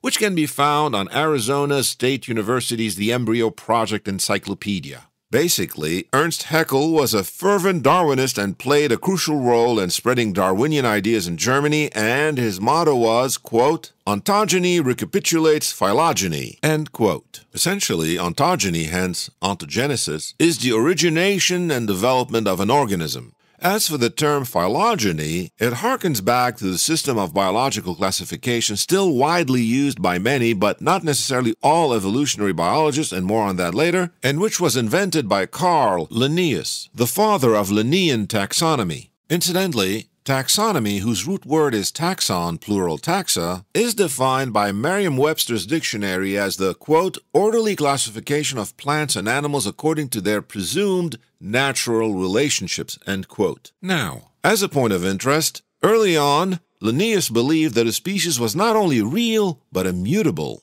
However, and according to a University of California Museum of Paleontology webpage, quote, Linnaeus observed how different species of plant might hybridize to create forms which looked like new species, Consequently, he, quote, abandoned the concept that species were fixed and invariable and suggested that some, perhaps most species in a genus might have arisen after the creation of the world through hybridization, end quote. In any case, his religious beliefs led him to embrace natural theology, which, as a school of thought dating back to biblical times, would especially flourish around 1700, and whose core tenet was that it is possible to understand God's wisdom by studying his creation. And so, in Linnaean taxonomy, organisms are grouped according to similarities and differences. For example, humans, same as fruit flies, belong to the animal kingdom. Therefore, the kingdom is the highest level of the hierarchy. One step below is the phylum, plural phyla, and in the case of us humans, we belong in the chordate phylum. Then one step lower we have the mammal class, then the primates order, then the hominids family, then the Homo genus, plural genera, and finally, the sapiens species. Hence, and in the interest of brevity, we say that humans are simply Homo sapiens. And once again, as I've intimated earlier, we are still debating over the concept of species. So, and aside from trying to get a perfect score on your biology exam, deep down, at a visceral level, I wouldn't get too attached to the nomenclature. Now, back to Haeckel. By saying ontogeny recapitulates phylogeny, he essentially posited that if we were able to capture the development of an organism's embryo in a sequence of images, and thus create a visual record of all the stages that embryo undergoes, a flip book if you will, we should be able to see a recapitulation, a visual reel of sorts, of its evolutionary journey. Therefore, According to Haeckel, who marketed this idea through his polished illustrations, which can still be found in biology textbooks today, human embryos, for example, undergo transformations that unequivocally show characteristics of their ancestors, such as gills and tails. Essentially, the embryo would display a recap of its evolutionary journey from fish to ape to human, you get the idea, and very importantly, clearly showing, again in keeping with Darwin's ideas, a progression from simpler to more complex forms. Fast forward to September 5, 1997, the day Science magazine published an article by Elizabeth Pennisi titled Haeckel's Embryos Fraud Rediscovered. The article reads, quote, Generations of biology students may have been misled by a famous set of drawings of embryos published 123 years ago by the German biologist Ernst Haeckel. According to Michael Richardson, an embryologist at St. George's Hospital Medical School, who, according to the article, quote, hopes once and for all to discredit Haeckel's work, first found to be flawed more than a century ago, end quote, when re examining and photographing embryos roughly matched by species and age with those Haeckel drew, they often, quote, looked surprisingly different, end quote, according to what Richardson reported in the August 1997 issue of Anatomy and Embryology. Furthermore, according to the same Science magazine article, quote, not only did Haeckel add or omit features, Richardson and his colleagues report, but he also fudged the scale to exaggerate similarities among species even when there were tenfold differences in size. End quote. As to the aforementioned 2014 article available on Arizona State University's The Embryo Project Encyclopedia's online page, it reads, quote, Haeckel's biogenetic law was further discredited by the results of experimental embryologists in the early 20th century. Researchers abandoned Haeckel's theory when they couldn't confirm his observations. Embryologists showed that cases of recapitulation were less prevalent than were the inconsistencies between the developmental stages of normal organisms from different species.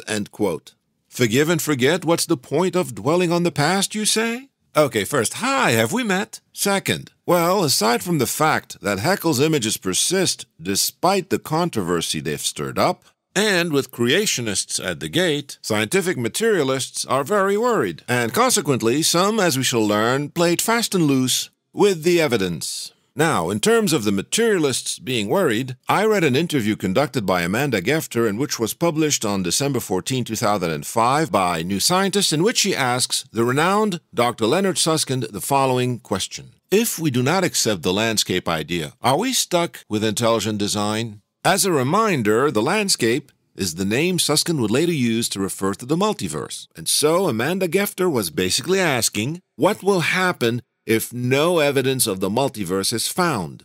Again, we're talking about a landscape of billions upon billions of non causally connected universes each with its own settings as far as the physical constants are concerned, and where we happen to find ourselves living in the one that just happened to have the right calibration, if you will, of those physical constants as to allow the formation and, lest we forget, the evolution of life deity free. All brought to you by nothing. Again, not at all the Daheshist concept of the multiverse where everything is interconnected nothing happens by chance, and every outcome is decided by a divine justice system. Anyway, Susskind replies by saying, quote, I doubt that physicists will see it that way. If, for some unforeseen reason, the landscape turns out to be inconsistent, maybe for mathematical reasons or because it disagrees with observation, I am pretty sure that physicists will go on searching for natural explanations of the world. But I have to say, if that happens, as things stand now, we will be in a very awkward position. Without any explanation of nature's fine tunings, we will be hard pressed to answer the ID critics. End quote. ID, of course, stands for intelligent design. And now, on to the matter of the fudging of select transitional whale fossils. It all started when I noticed a discrepancy while watching a June 5, 2014 YouTube promotional video produced by the Richard Dawkins Foundation for Reason and Science, whose full title is Richard Dawkins Show Me the Intermediate Fossils, Nebraska Vignettes Number 1.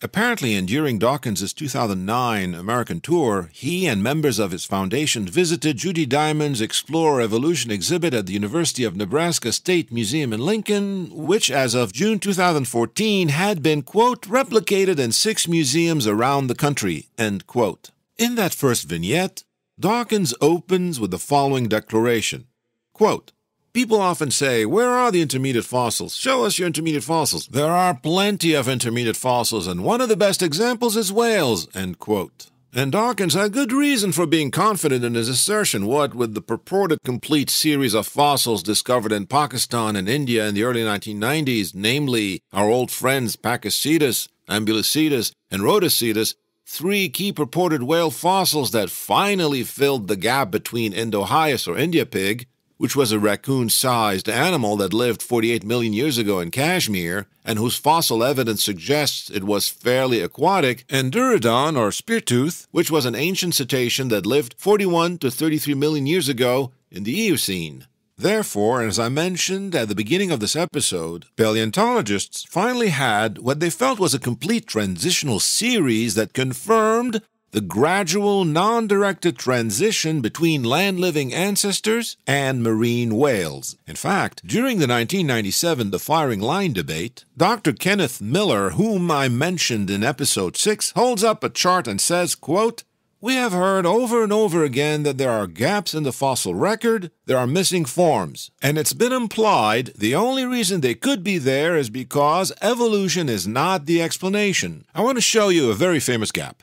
It's a gap between mesonychid mammals, land dwelling carnivores that lived, oh, 55, 60 million years ago, and archaeocetes, which are the oldest whales. We know from skull and dentition patterns that, as it turns out, these whales are very closely related to mesonychids. End quote. At this point, Dr. Miller, still holding up the chart, turns his attention towards Dr. Michael Behe. And he goes, quote, And my colleague directly across from me, Michael Behe, once wrote, if random evolution is true, there must be a large number of transitional forms between Mesonychid and the ancient whale. And much in the way that Dr. Berlinski has said, he said, Where are they? Well, they're right here. End quote. Then Miller goes for the big reveal. One, two, three, he says, as he sequentially removes the sheets of paper, thus showing three transitional forms, including a complete skeleton of the aforementioned Ambulocetus, which he characterized as quote unquote an extraordinary intermediate, thus echoing Stephen Jay Gould's sentiment when he referred to it as quote unquote a remarkable smoking gun. Therefore, in 1997, the story was that within a relatively short span in terms of geologic time, three missing transitional fossils, and here they are again in case you've forgotten their names, Pakicetus, Ambulocetus, and Rodhocetus, somehow managed to appear on Earth through a process of random, undirected evolution. That last one, Rodhocetus, was even officially depicted as having a fluked tail and a blowhole that was midway along its snout. And remember Ambulocetus? Our extraordinary intermediate slash remarkable smoking gun?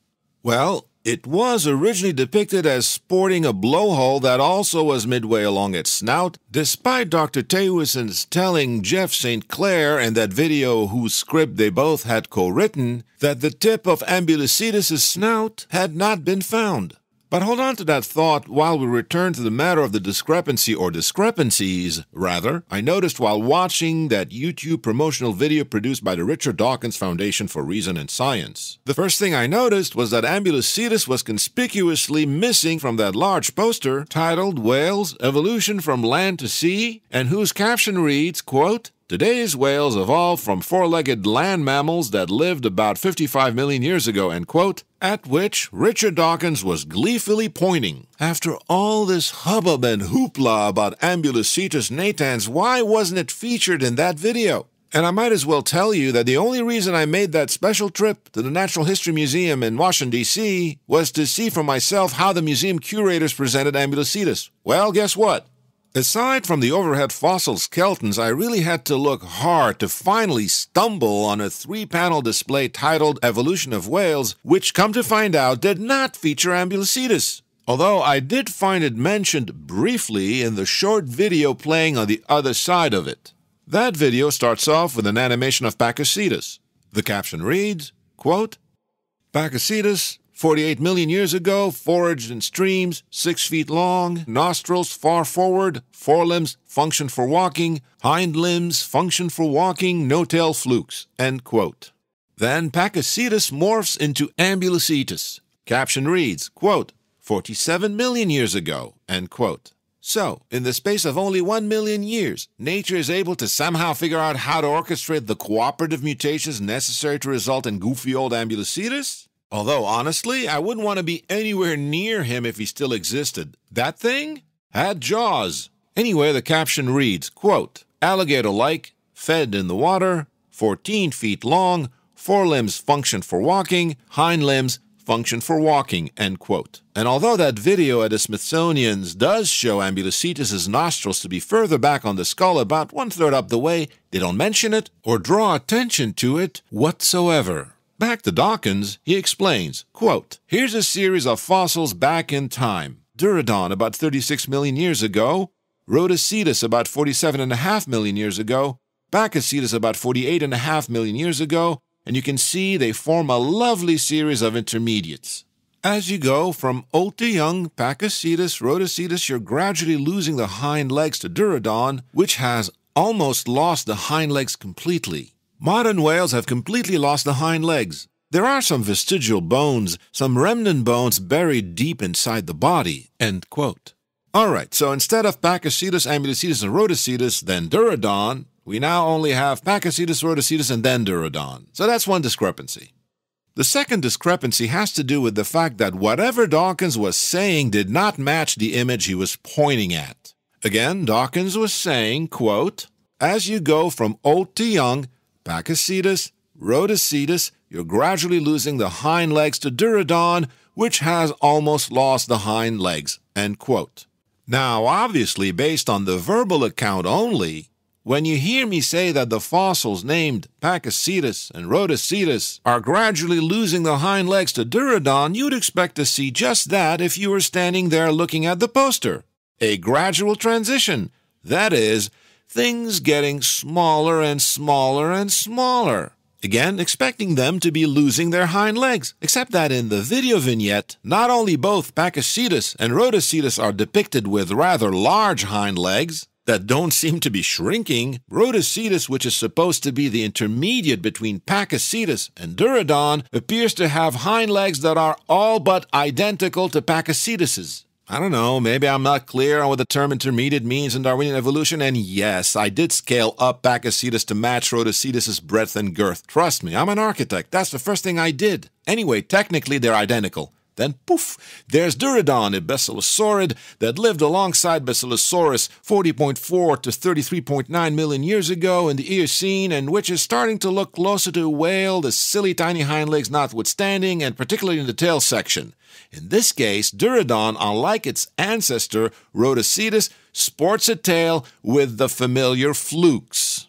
But wait a second, how come in this particular 2009 whale evolution chart, Rodhocetus no longer has flukes? What happened to the flukes? Why am I saying that? So glad you asked. I say this because I distinctly remember seeing older illustrations in which Rodhocetus is depicted as having a long, fluked tail and flippers. In other words, Rodhocetus, the ancestor species, was made to look more like Dorudon, the descendant species. Plus, let's not forget that years prior, Dr. Gingrich said that Rodhocetus could have had a fluke tail, according to John Noble Wilford's May 3, 1994 New York Times article, and that business of fast tracking Rodhocetus to whale status. So what gives? What happened to Rodhocetus' fluke tail and the flippers that museum diagrams used to show? In the Dawkins video, Pakicetus and Rodhocetus have hind legs ending with webbed feet. And another thing, and picking up the matter of temporal sequences where I left off, what's the deal with chronological inversions, also known as ghost lineages? That is, the common practice of ignoring where a species actually shows up and inserting it out of sequence. For example, the drawings on page 50 of Jerry Coyne's aforementioned 2009 book, Why Evolution is True, features a quote unquote tree depicting the evolutionary relationships of six chronologically ordered transitional forms, or fossils, starting with Indohyus and ending with Balaena, that is, the genus consisting of the Greenland whale as defined by Merriam Webster's dictionary. First off, Dr. Coyne writes, quote, there is no need to describe this transition in detail, as the drawings clearly speak, if not shout, of how a land living animal took to the water. Fair enough, although I probably should describe it anyway. So we learn that the sequence begins with, again, that raccoon sized animal called Indohyus, which lived 48 million years ago and is clearly closely related to whales, quote, because it has special features of the ear and teeth seen only in modern whales and their aquatic ancestors. End quote. Again, fair enough, and incidentally, nothing that Coyne has said so far precludes there be a designer that directed the genetic mutation that would allow the transition from Indohyus 48 million years ago to Pakicetus, which lived 52 million years ago. Wait, what? That can't be right. Okay, hold on a second. How can Pakicetus, supposedly the descendant of Indohyus, be the ancestor of Indohyus? How's that work? Help. Oh, I see. Coyne says, quote, although Indohyus appears slightly later than the largely aquatic ancestors of whales, it is probably very close to what whale ancestors looked like, end quote. Then we learn that Indohyus was positioned on Coyne's evolution tree two to four million years before two of its ancestors, namely Pakicetus and Ambulocetus, is, quote, not the ancestor of whales, but was almost certainly its cousin, end quote. Yes, I know, I sound as though I'm about to set forth the inane, why are there still monkeys around if we're descended from monkeys argument. By the way, technically speaking, that's not correct because, as I've mentioned in episode 5, both humans and chimpanzees purportedly evolved from a common ape like ancestor. But I digress, and sure, nothing says an ancestor species can't coexist alongside its descendants. However, if I don't have proof positive that this or that particular species is in fact ancestral, and all I have is a fossil that is younger than its supposed descendants, and I up and move that fossil down, that is, earlier in the geological timeline than where it actually belongs, because morphologically it would fit the Darwinian narrative, such as the case with Indohyus, which again might have been the ancestor of them all, but we can't be sure until actual fossils dating back to the appropriate time are found, my argument would be weak at best, especially that my only line of defense would be to say, go ahead, prove that Indohyus is not the ancestor. Or for that matter, that unicorns don't exist. And if you think that challenging you to prove a negative is bad form, if not bad science, as it would be tantamount to expecting you to accomplish the impossible, don't blame me. Because if I did expect you to prove a negative, I would be simply emulating Charles Darwin when he wrote, quote, If it could be demonstrated that any complex organ existed which could not possibly have been formed by numerous slight modifications, my theory would absolutely break down, end quote. And yet, Indohyus is placed right at the very bottom of that evolution chart. That aside, and at this point I have to ask, when Jerry Coyne says almost certainly. What does that mean in quantifiable scientific terms? And what about the depiction of the transition from small bipedal dinosaurs to birds on his book's dust jacket's front panel? How reliable is that, considering the book's back flap features a disclaimer printed in a red typeface that reads, quote, The jacket depicts a chronological sequence of fossils showing the evolution of birds. We do not know whether the actual line of descent included the first three species, but the origin of modern birds almost certainly involved a sequence very much like this one. End quote. Again, with the almost certainly honestly, with a theory that is touted by materialists and militant atheists to boot as the path to intellectual fulfillment, to paraphrase Richard Dawkins, can we at least have a paper that describes the mechanism which purportedly only the insane would disavow? Is that too much to ask? Meanwhile, and on the back panel, Dawkins is quoted as saying, quote, I once wrote that anybody who didn't believe in evolution must be stupid, insane, or ignorant, and I was then careful to add that ignorance is no crime. I should now update my statement. Anybody who doesn't believe in evolution is stupid, insane, or hasn't read Jerry Coyne. I defy any reasonable person to read this marvelous book and still take seriously the breathtaking inanity that is intelligent design quote unquote theory or its country cousin young earth creationism, end quote. And here's Christopher Hitchens' endorsement. Quote, its ignorant opponents like to say that the process of evolution by natural selection is quote unquote only a theory. Between parentheses, that's how they prove their ignorance. Jerry Coyne shows with elegance and rigor that it is a hypothesis that meets and withstands all tests and strengthens itself as a theory thereby. One could almost say that it had the distinct merit of being true. End quote. Again, and save for the unfalsifiable, though highly creative and imaginative extrapolation based on a gap riddled record that these fossils almost certainly form a transitional sequence, what tests was Hitchens referring to that confirmed the hypothesis that claims, for example, that birds almost certainly descended from theropods through an undirected, blind, and random process? I mean, once again, and not to put too fine a point on it, directed mutation is scary enough, let alone one that is left to the whims of dumb luck. The fact remains that not one, not a single soul knows what manner of unguided mechanism could have made that happen. And if they did, and to paraphrase the late Philip Johnson, the law professor, not the architect, I wish they'd publish the paper on it because I'd love to see it torn to bits. Let me give you another example. We've all been told that Archaeopteryx is an intermediate fossil between coelurosaurs, which are theropods, that is, small bipedal dinosaurs, and birds. In his 2004 book, Missing Links Evolutionary Concepts and Transitions Through Time, page 153, in the section titled Origin of Flight, Dr. Robert A. Martin writes, quote, The small Coelurosaurian dinosaurs related to Archaeopteryx all occur in the fossil record after Archaeopteryx, and so cannot be directly ancestral, although, as Kevin Padian has shown, small delicate theropods existed in North America about the same time as Archaeopteryx in the Old World. However, no early generalized archosaurs are known that could be a common ancestor to both dinosaurs and birds, so the dissident camp, those who are against the dinosaur bird, between parentheses, ground up, ancestry, cannot point to obvious bird ancestors either. End quote. In other words, the jury is out. Furthermore, apparently the official story that Basilosaurus, remember him, lived 40 million years ago, which means it was a descendant of proto whales, is not necessarily accurate. Can I say almost certainly inaccurate? Hmm. Anyway, first let me share with you highlights from an October 11, 2011 Associated Press press release by Michael Warren titled Ancient Whale Jawbone Found in Antarctica. Quote, Buenos Aires, Argentina. The jawbone of an ancient whale found in Antarctica may be the oldest fully aquatic whale yet discovered, Argentine scientists said Tuesday.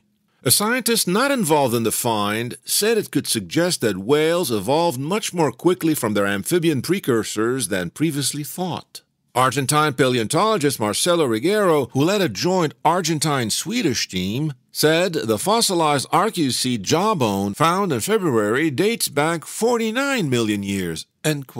According to Reguero, this jawbone belongs to the Basilosauridae group of fully aquatic whales, thus, quote, the relevance of this discovery is that it's the oldest known completely aquatic whale found yet. End quote. The Associated Press article states that, in evolutionary terms, 49 million years is not far off of even older amphibian proto whales from 53 million years ago that had been found in South Asia and other warmer latitudes. And so, to paraphrase University of Chicago paleontologist Dr. Paul Sereno, who wasn't involved in the research, if the new find, quote, withstands the scrutiny of other scientists, it will suggest that archaeocetes evolved much more quickly than previously thought from their semi aquatic origin in present day India and Pakistan. Now, aside from the fact that this begs the question as to how such an accelerated, undirected, blind evolution took place without, oh, I don't know, a miracle, this clearly torpedoes the claim that Basilosaurus went into service after Rodhocetus and Dorudon. And if I may jog your memory, Indohyus, the purported ancestor of them all, lived 48 million years ago. Therefore, the assertion that cetaceans began as more terrestrial than aquatic is not supported by the evidence. But let's say, for whatever reason, you're dubious about getting your information from popular media, even if that means getting it from the Associated Press because you feel it's outdated. Fair enough. In that case, you can always study papers published by other experts in the field, and there are plenty out there. One in particular is a March 2016 paper by Dr. Monica Romina Buono et al. titled Eocene Basilosaurid Whales from the La Meseta Formation, Marambio, Seymour Island, Antarctica. It's very thorough, and where are you going? Sit down, we're about to get to the good stuff. Anyway, in that paper, the authors make it clear that there are several possible dates for the Basilosaurid fossil found in Antarctica. And depending on the study, and here we learn about research done by Dutton et al., Ivan et al., Douglas et al., Brinquist et al., Beal et al., and others, we literally are spoiled for choice. Some studies, such as the Dutton 2002 study, is very broad and covers anywhere from 55 to 46 million years ago.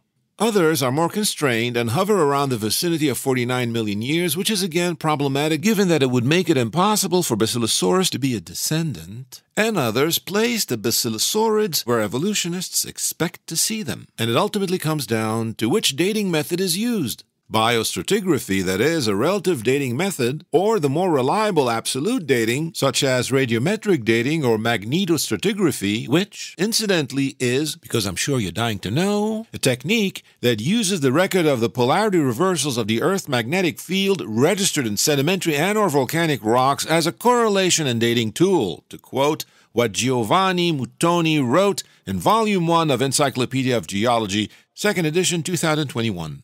Now, before I get to the punchline, I should mention that I originally learned about this paper from a July 1, 2020 YouTube video produced by Discovery Science titled Whale Evolution A Rebuttal, which was created to respond to some critiques to their long story short video on whale evolution. I highly recommend you watch them if you haven't done so already. And for the record, I couldn't find any information about the video's quote unquote animator. However, in an evolutionnews.org April 23, 2020 article titled Whale of a Webinar Debuts a Delightful Long Story Short Video, David Klinghoffer writes about a quote surprise guest, the video's animator, who here goes by a first name only, Evan, for reasons you can imagine. Even an animator has to worry that Darwinists will try to destroy him professionally, as they sought to do to Dr. Sternberg. End quote. Incidentally, you might remember my telling you about what happened to Dr. Sternberg and others in episode 6. Anyway, and back to the video, Evan, we shall call him, who conducted a thorough review of the Buono paper and took all the numbers representing myriad ranges of possible dates and the various geological dating methods for granted, lined up the studies that were referenced in the Buono paper and others, and what he found was that almost all of them converged on that 49 million years date quoted in the Associated Press article. And that is a problem for the Darwinian model because, quote, fully aquatic whales should not have lived that early, end quote. And according to Evan, the authors of the Buono paper chose, quote, the dates of 40 to 46 million years ago, not necessarily because that's where the data converge, it isn't, but because, as they say, it is, quote, more consistent with the published stratigraphic record of basilosaurids everywhere, end quote. As Evan put it, quote, their conclusions are being skewed by evolutionary presuppositions and, quote, concluding that, quote, this fossil still casts a huge shadow over the entire timeline, their overly optimistic conclusions notwithstanding, end quote. Anyway, I promised you a punchline, so let's get back to why we no longer see flukes on the tail of Rodhocetus and this business of whatever happened to Ambulocetus. For that, I'll first give you some highlights from an April 7, 2014, updated August 28, 2017 press release available on thegrandexperiment.com. Quote, Whales with four legs walking on land are currently considered one of the best fossil proofs of evolution, but now this evidence has collapsed according to science documentary maker Dr. Carl Werner. After interviewing the two scientists who reconstructed the fossils of the three famous walking whales, Rodhocetus, Pakicetus, and Ambulocetus, Dr. Werner has concluded that scientists created false models of these skeletons and skulls and passed them off to museums. End quote. That list includes the American Museum of Natural History in New York, the Carnegie Museum in Pittsburgh, the National Museum of Nature and Science in Tokyo, the Paris Natural Museum, and others. And incidentally, this may no longer be the case, and all these museums might have taken the necessary corrective measures. In fact, and in the interest of full disclosure, the press release states that, quote, when Dr. Werner began questioning Dr. Thewissen about the shape of the skull and missing fossil parts, Thewissen retracted the entire blowhole idea, even though he had supplied the world's top museums with skeletons having blowholes. End quote. Now, why does that ring a bell? Oh, that's right. Has the Smithsonian picked up on this? Because that short animation I saw on their video display needs a little bit of editing. Next, let's talk about Rodhocetus, which you might remember was discovered by Dr. Gingrich in 1994, and that according to the official story, he was a walking whale equipped with a fluke and front flippers. Now, when in 2001 the aforementioned Dr. Carl Werner, author and executive producer of Evolution the Grand Experiment, visited the University of Michigan at Ann Arbor, he noticed a discrepancy between museum renderings of Rodhocetus and the actual fossils. Basically, the reconstruction showed Rodhocetus having a tail fluke, whereas the fossils clearly didn't. Consequently, in a May 19, 2014 YouTube video clip titled Dr. Phil Gingrich Interview about Rodhocetus, Dr. Werner poses the following question to Dr. Gingrich. Quote, what was the reasoning that the scientists think there was a fluke on Rodhocetus based on the other pieces of anatomy? End quote. Dr. Gingrich responds, quote, Well, I told you we don't have the tail in Rodhocetus so we don't know for sure whether it had a ball vertebra indicating a fluke or not. So I speculated it might have had a fluke. Then the narrator of the video adds, quote, Scientist Gingrich also acknowledged that these flippers were drawn on the diagram without these fossils. Now he does not believe this animal had flippers. Meanwhile, and at the time of this interview, the museum diagrams on display at the Museum of Paleontology at the University of Michigan which had been directed by Dr. Gingrich, and whose notable student, I might add, was Hans Thewissen, still had flippers on them. Once again, on camera, Gingrich says, quote, Now, since then, we found the forelimbs, the hands and the front arm, the arms, in other words, of Rodhocetus, and we understand that it doesn't have the kind of arms that can be spread out like flippers are on a whale. End quote. Then the camera does a split second crossfade to the same close up of Gingrich saying, Quote, and if you don't have flippers, I don't think you can have a fluke tail and really powered swimming. And so, I now doubt that Rodhocetus would have had a fluke tail. End quote. So, once again, whales are supposed to be the best fossil evidence for evolution despite these discrepancies. And even if these discrepancies didn't exist, and considering the odds stacked against the spontaneous chemical origin of life and its alleged subsequent evolution through an undirected, blind, random, mindless, stochastic shuffle of elements, I fail to see what would preclude creation or directed evolution. And to think that professional lives were ruined because of shenanigans such as these. So, how unreasonable would it be to inquire about the sort of undirected, blind, and mindless mechanism, emphasis on mechanism, that could induce a land dwelling, grass eating animal to undergo, through reproduction, thus descent with modification, slow cumulative changes that would ultimately lead to the introduction of an ocean roaming, krill eating, baleen whale? Well, let's find out, shall we? And now back to our regularly scheduled proverbial boxing match. At some point during the aforementioned The Firing Line debate, Dr. Berlinski asked paleontologist Dr. Eugenie Scott, the then director of the National Center for Science Education, the following first question. Quote, Would you agree, as almost everyone else affirms, that the overwhelming pattern of the fossil record is sharply discontinuous? End quote.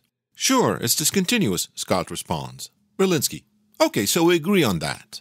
Could I ask you to give us your best estimate of the number of changes required to take a dog like mammal to a seagoing whale? Now, instead of remaining on topic, never mind providing an answer, Dr. Scott pivots and deflects by referring to an earlier exchange with the late Philip E. Johnson, who at the time was a law professor at UC Berkeley and whose 1991 book, Darwin on Trial, argued that the neo Darwinian theory of evolution was not shored up by scientific evidence, rather by a philosophy of naturalism. And so Eugenie Scott felt this sudden urge to disambiguate the term evolution because obviously people like Michael Behe, David Berlinski, William F. Buckley Jr., and Philip E. Johnson needed to be educated on the matter. Funny, really, when you consider that just earlier she coyly declined when prompted by the moderator to define the term adaptive differential reproduction, which she alone employed during the almost two hour long program. For context, in that instance, David Berlinski was debating Barry Lynn, the then executive director of Americans United for Separation of Church and State, who not only was a lawyer but a United Church of Christ ordained minister, and, wait for it, a Darwinian. Again, as stated in the last episode, not all Darwinians are atheists, anti theists, or agnostics. Many, in fact, are believers, and in the case of Kenneth Miller, self professed Catholics. In any case, a puzzled Barry Lynn was asking Berlinski why he didn't, quote, seem to understand that different ecological environments in the distant past as well as today produce different adaptations, end quote. To which Berlinski said, quote, You're right, I don't understand it. It makes no sense scientifically.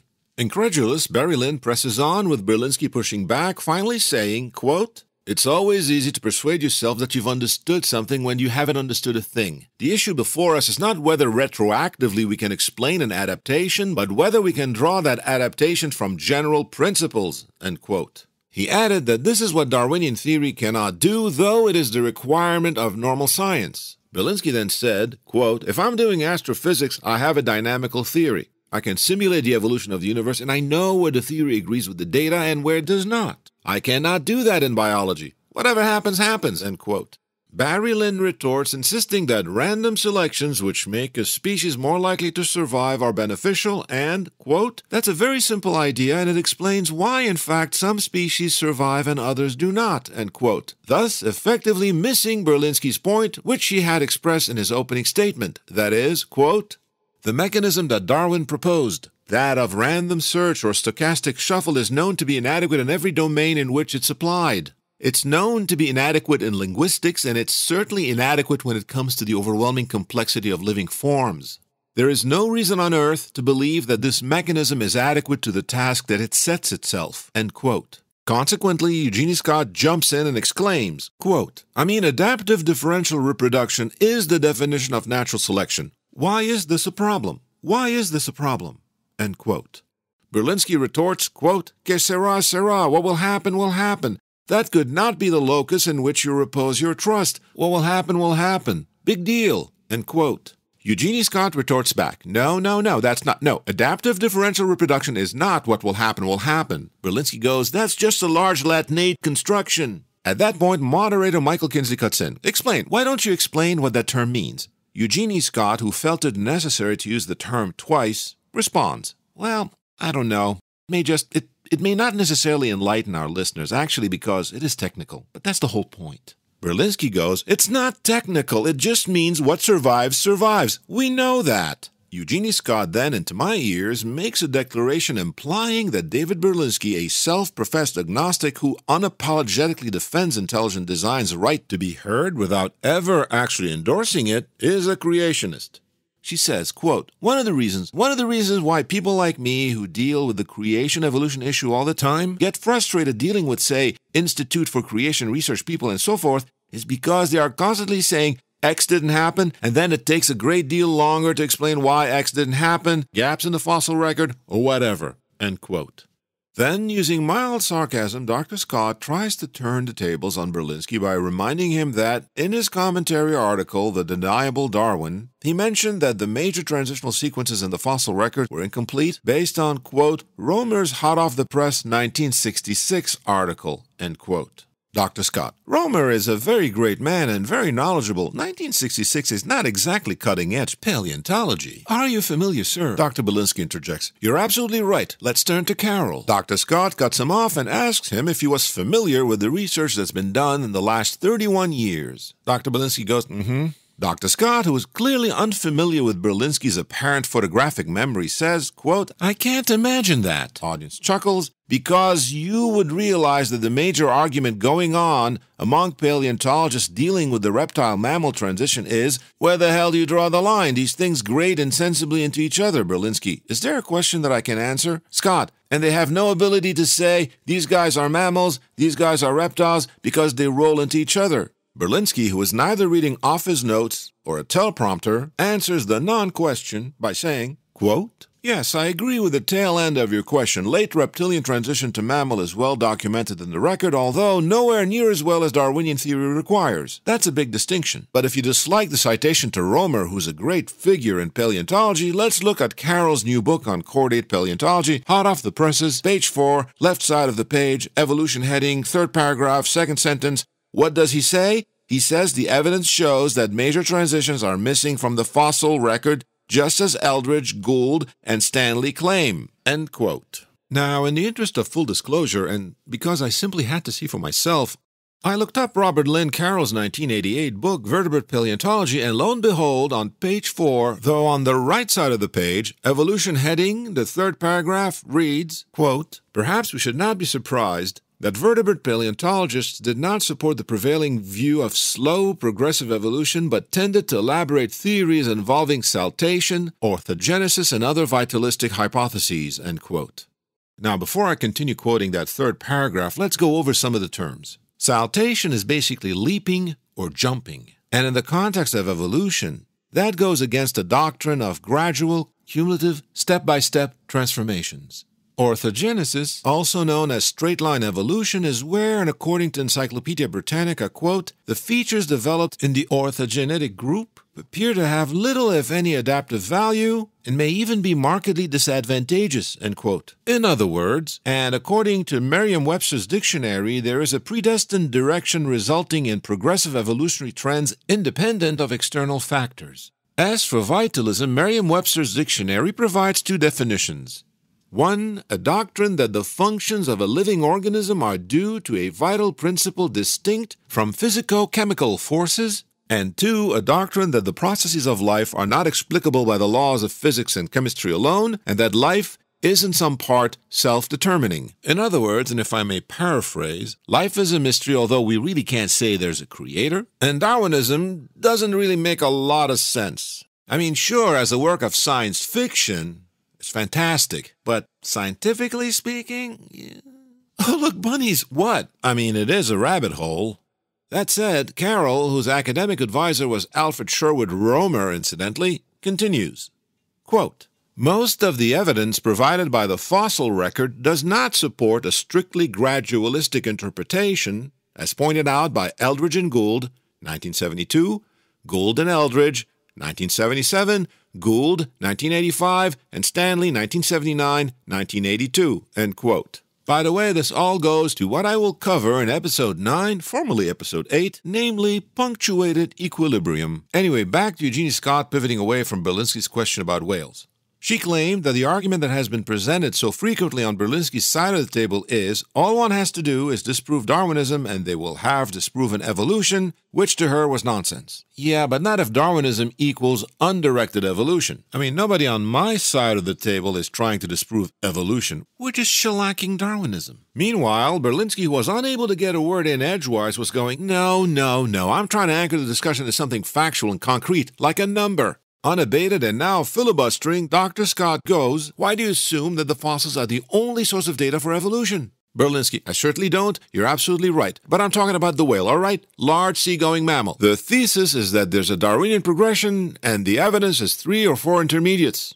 I'm asking you to give us your best estimate of the number of changes required to take a dog like mammal to a sea. Scott, the number of genetic changes? Berlinski, morphological, physiological. Just give us a number. Is it three? Is it ten? Scott, that's an absurd question. Berlinski, why? Scott, none of us, none of us on the evolution side of this argument has ever proposed that we can come up with the number of changes. That's a ridiculous question. Berlinski, then how on earth can you commend the mechanism if you're unsure whether it's adequate to the result? Scott, why are you so fixated on the mechanism of natural selection? Berlinski, because that's the heart of your doctrine. It's a theory. It's a scientific theory. Scott, once again pivoting and deflecting, quote, It is, would you agree with me that if you disprove evolution, excuse me, if you disprove natural selection, you therefore disprove evolution? End quote. Berlinski, sure. Scott, you're wrong. Berlinski, why? Scott, because evolution, because natural selection is only a way by which evolution can take place. The evidence would still be there. Berlinski, there is no other attribute of the theory. Go back. Scott, apparently trying to run out the clock, plows ahead. From homology, from anatomical homologies, biochemical homologies, and the fossil record. We're not dependent on the fossil record. Berlinski, now at his wits' end. Dr. Scott, focus on my question. I'm begging you. We have a theory. Scott, I answered it. Berlinski, the theory is a theory of random mutation and natural selection. I'm asking you to apply it to the case of the progression from a dog like mammal to a seagoing whale. Moderator Michael Kinsley, I'm begging you not to.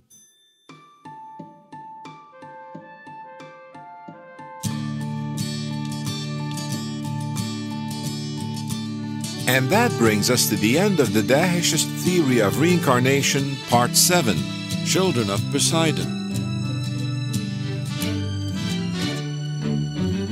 For a transcript, please visit drdahesh.com. That's D O C T O R D A H E S H dot com. You may also visit dahesh.org or dahesh.tv. This is Mario Henry Chakkour saying goodbye until next time.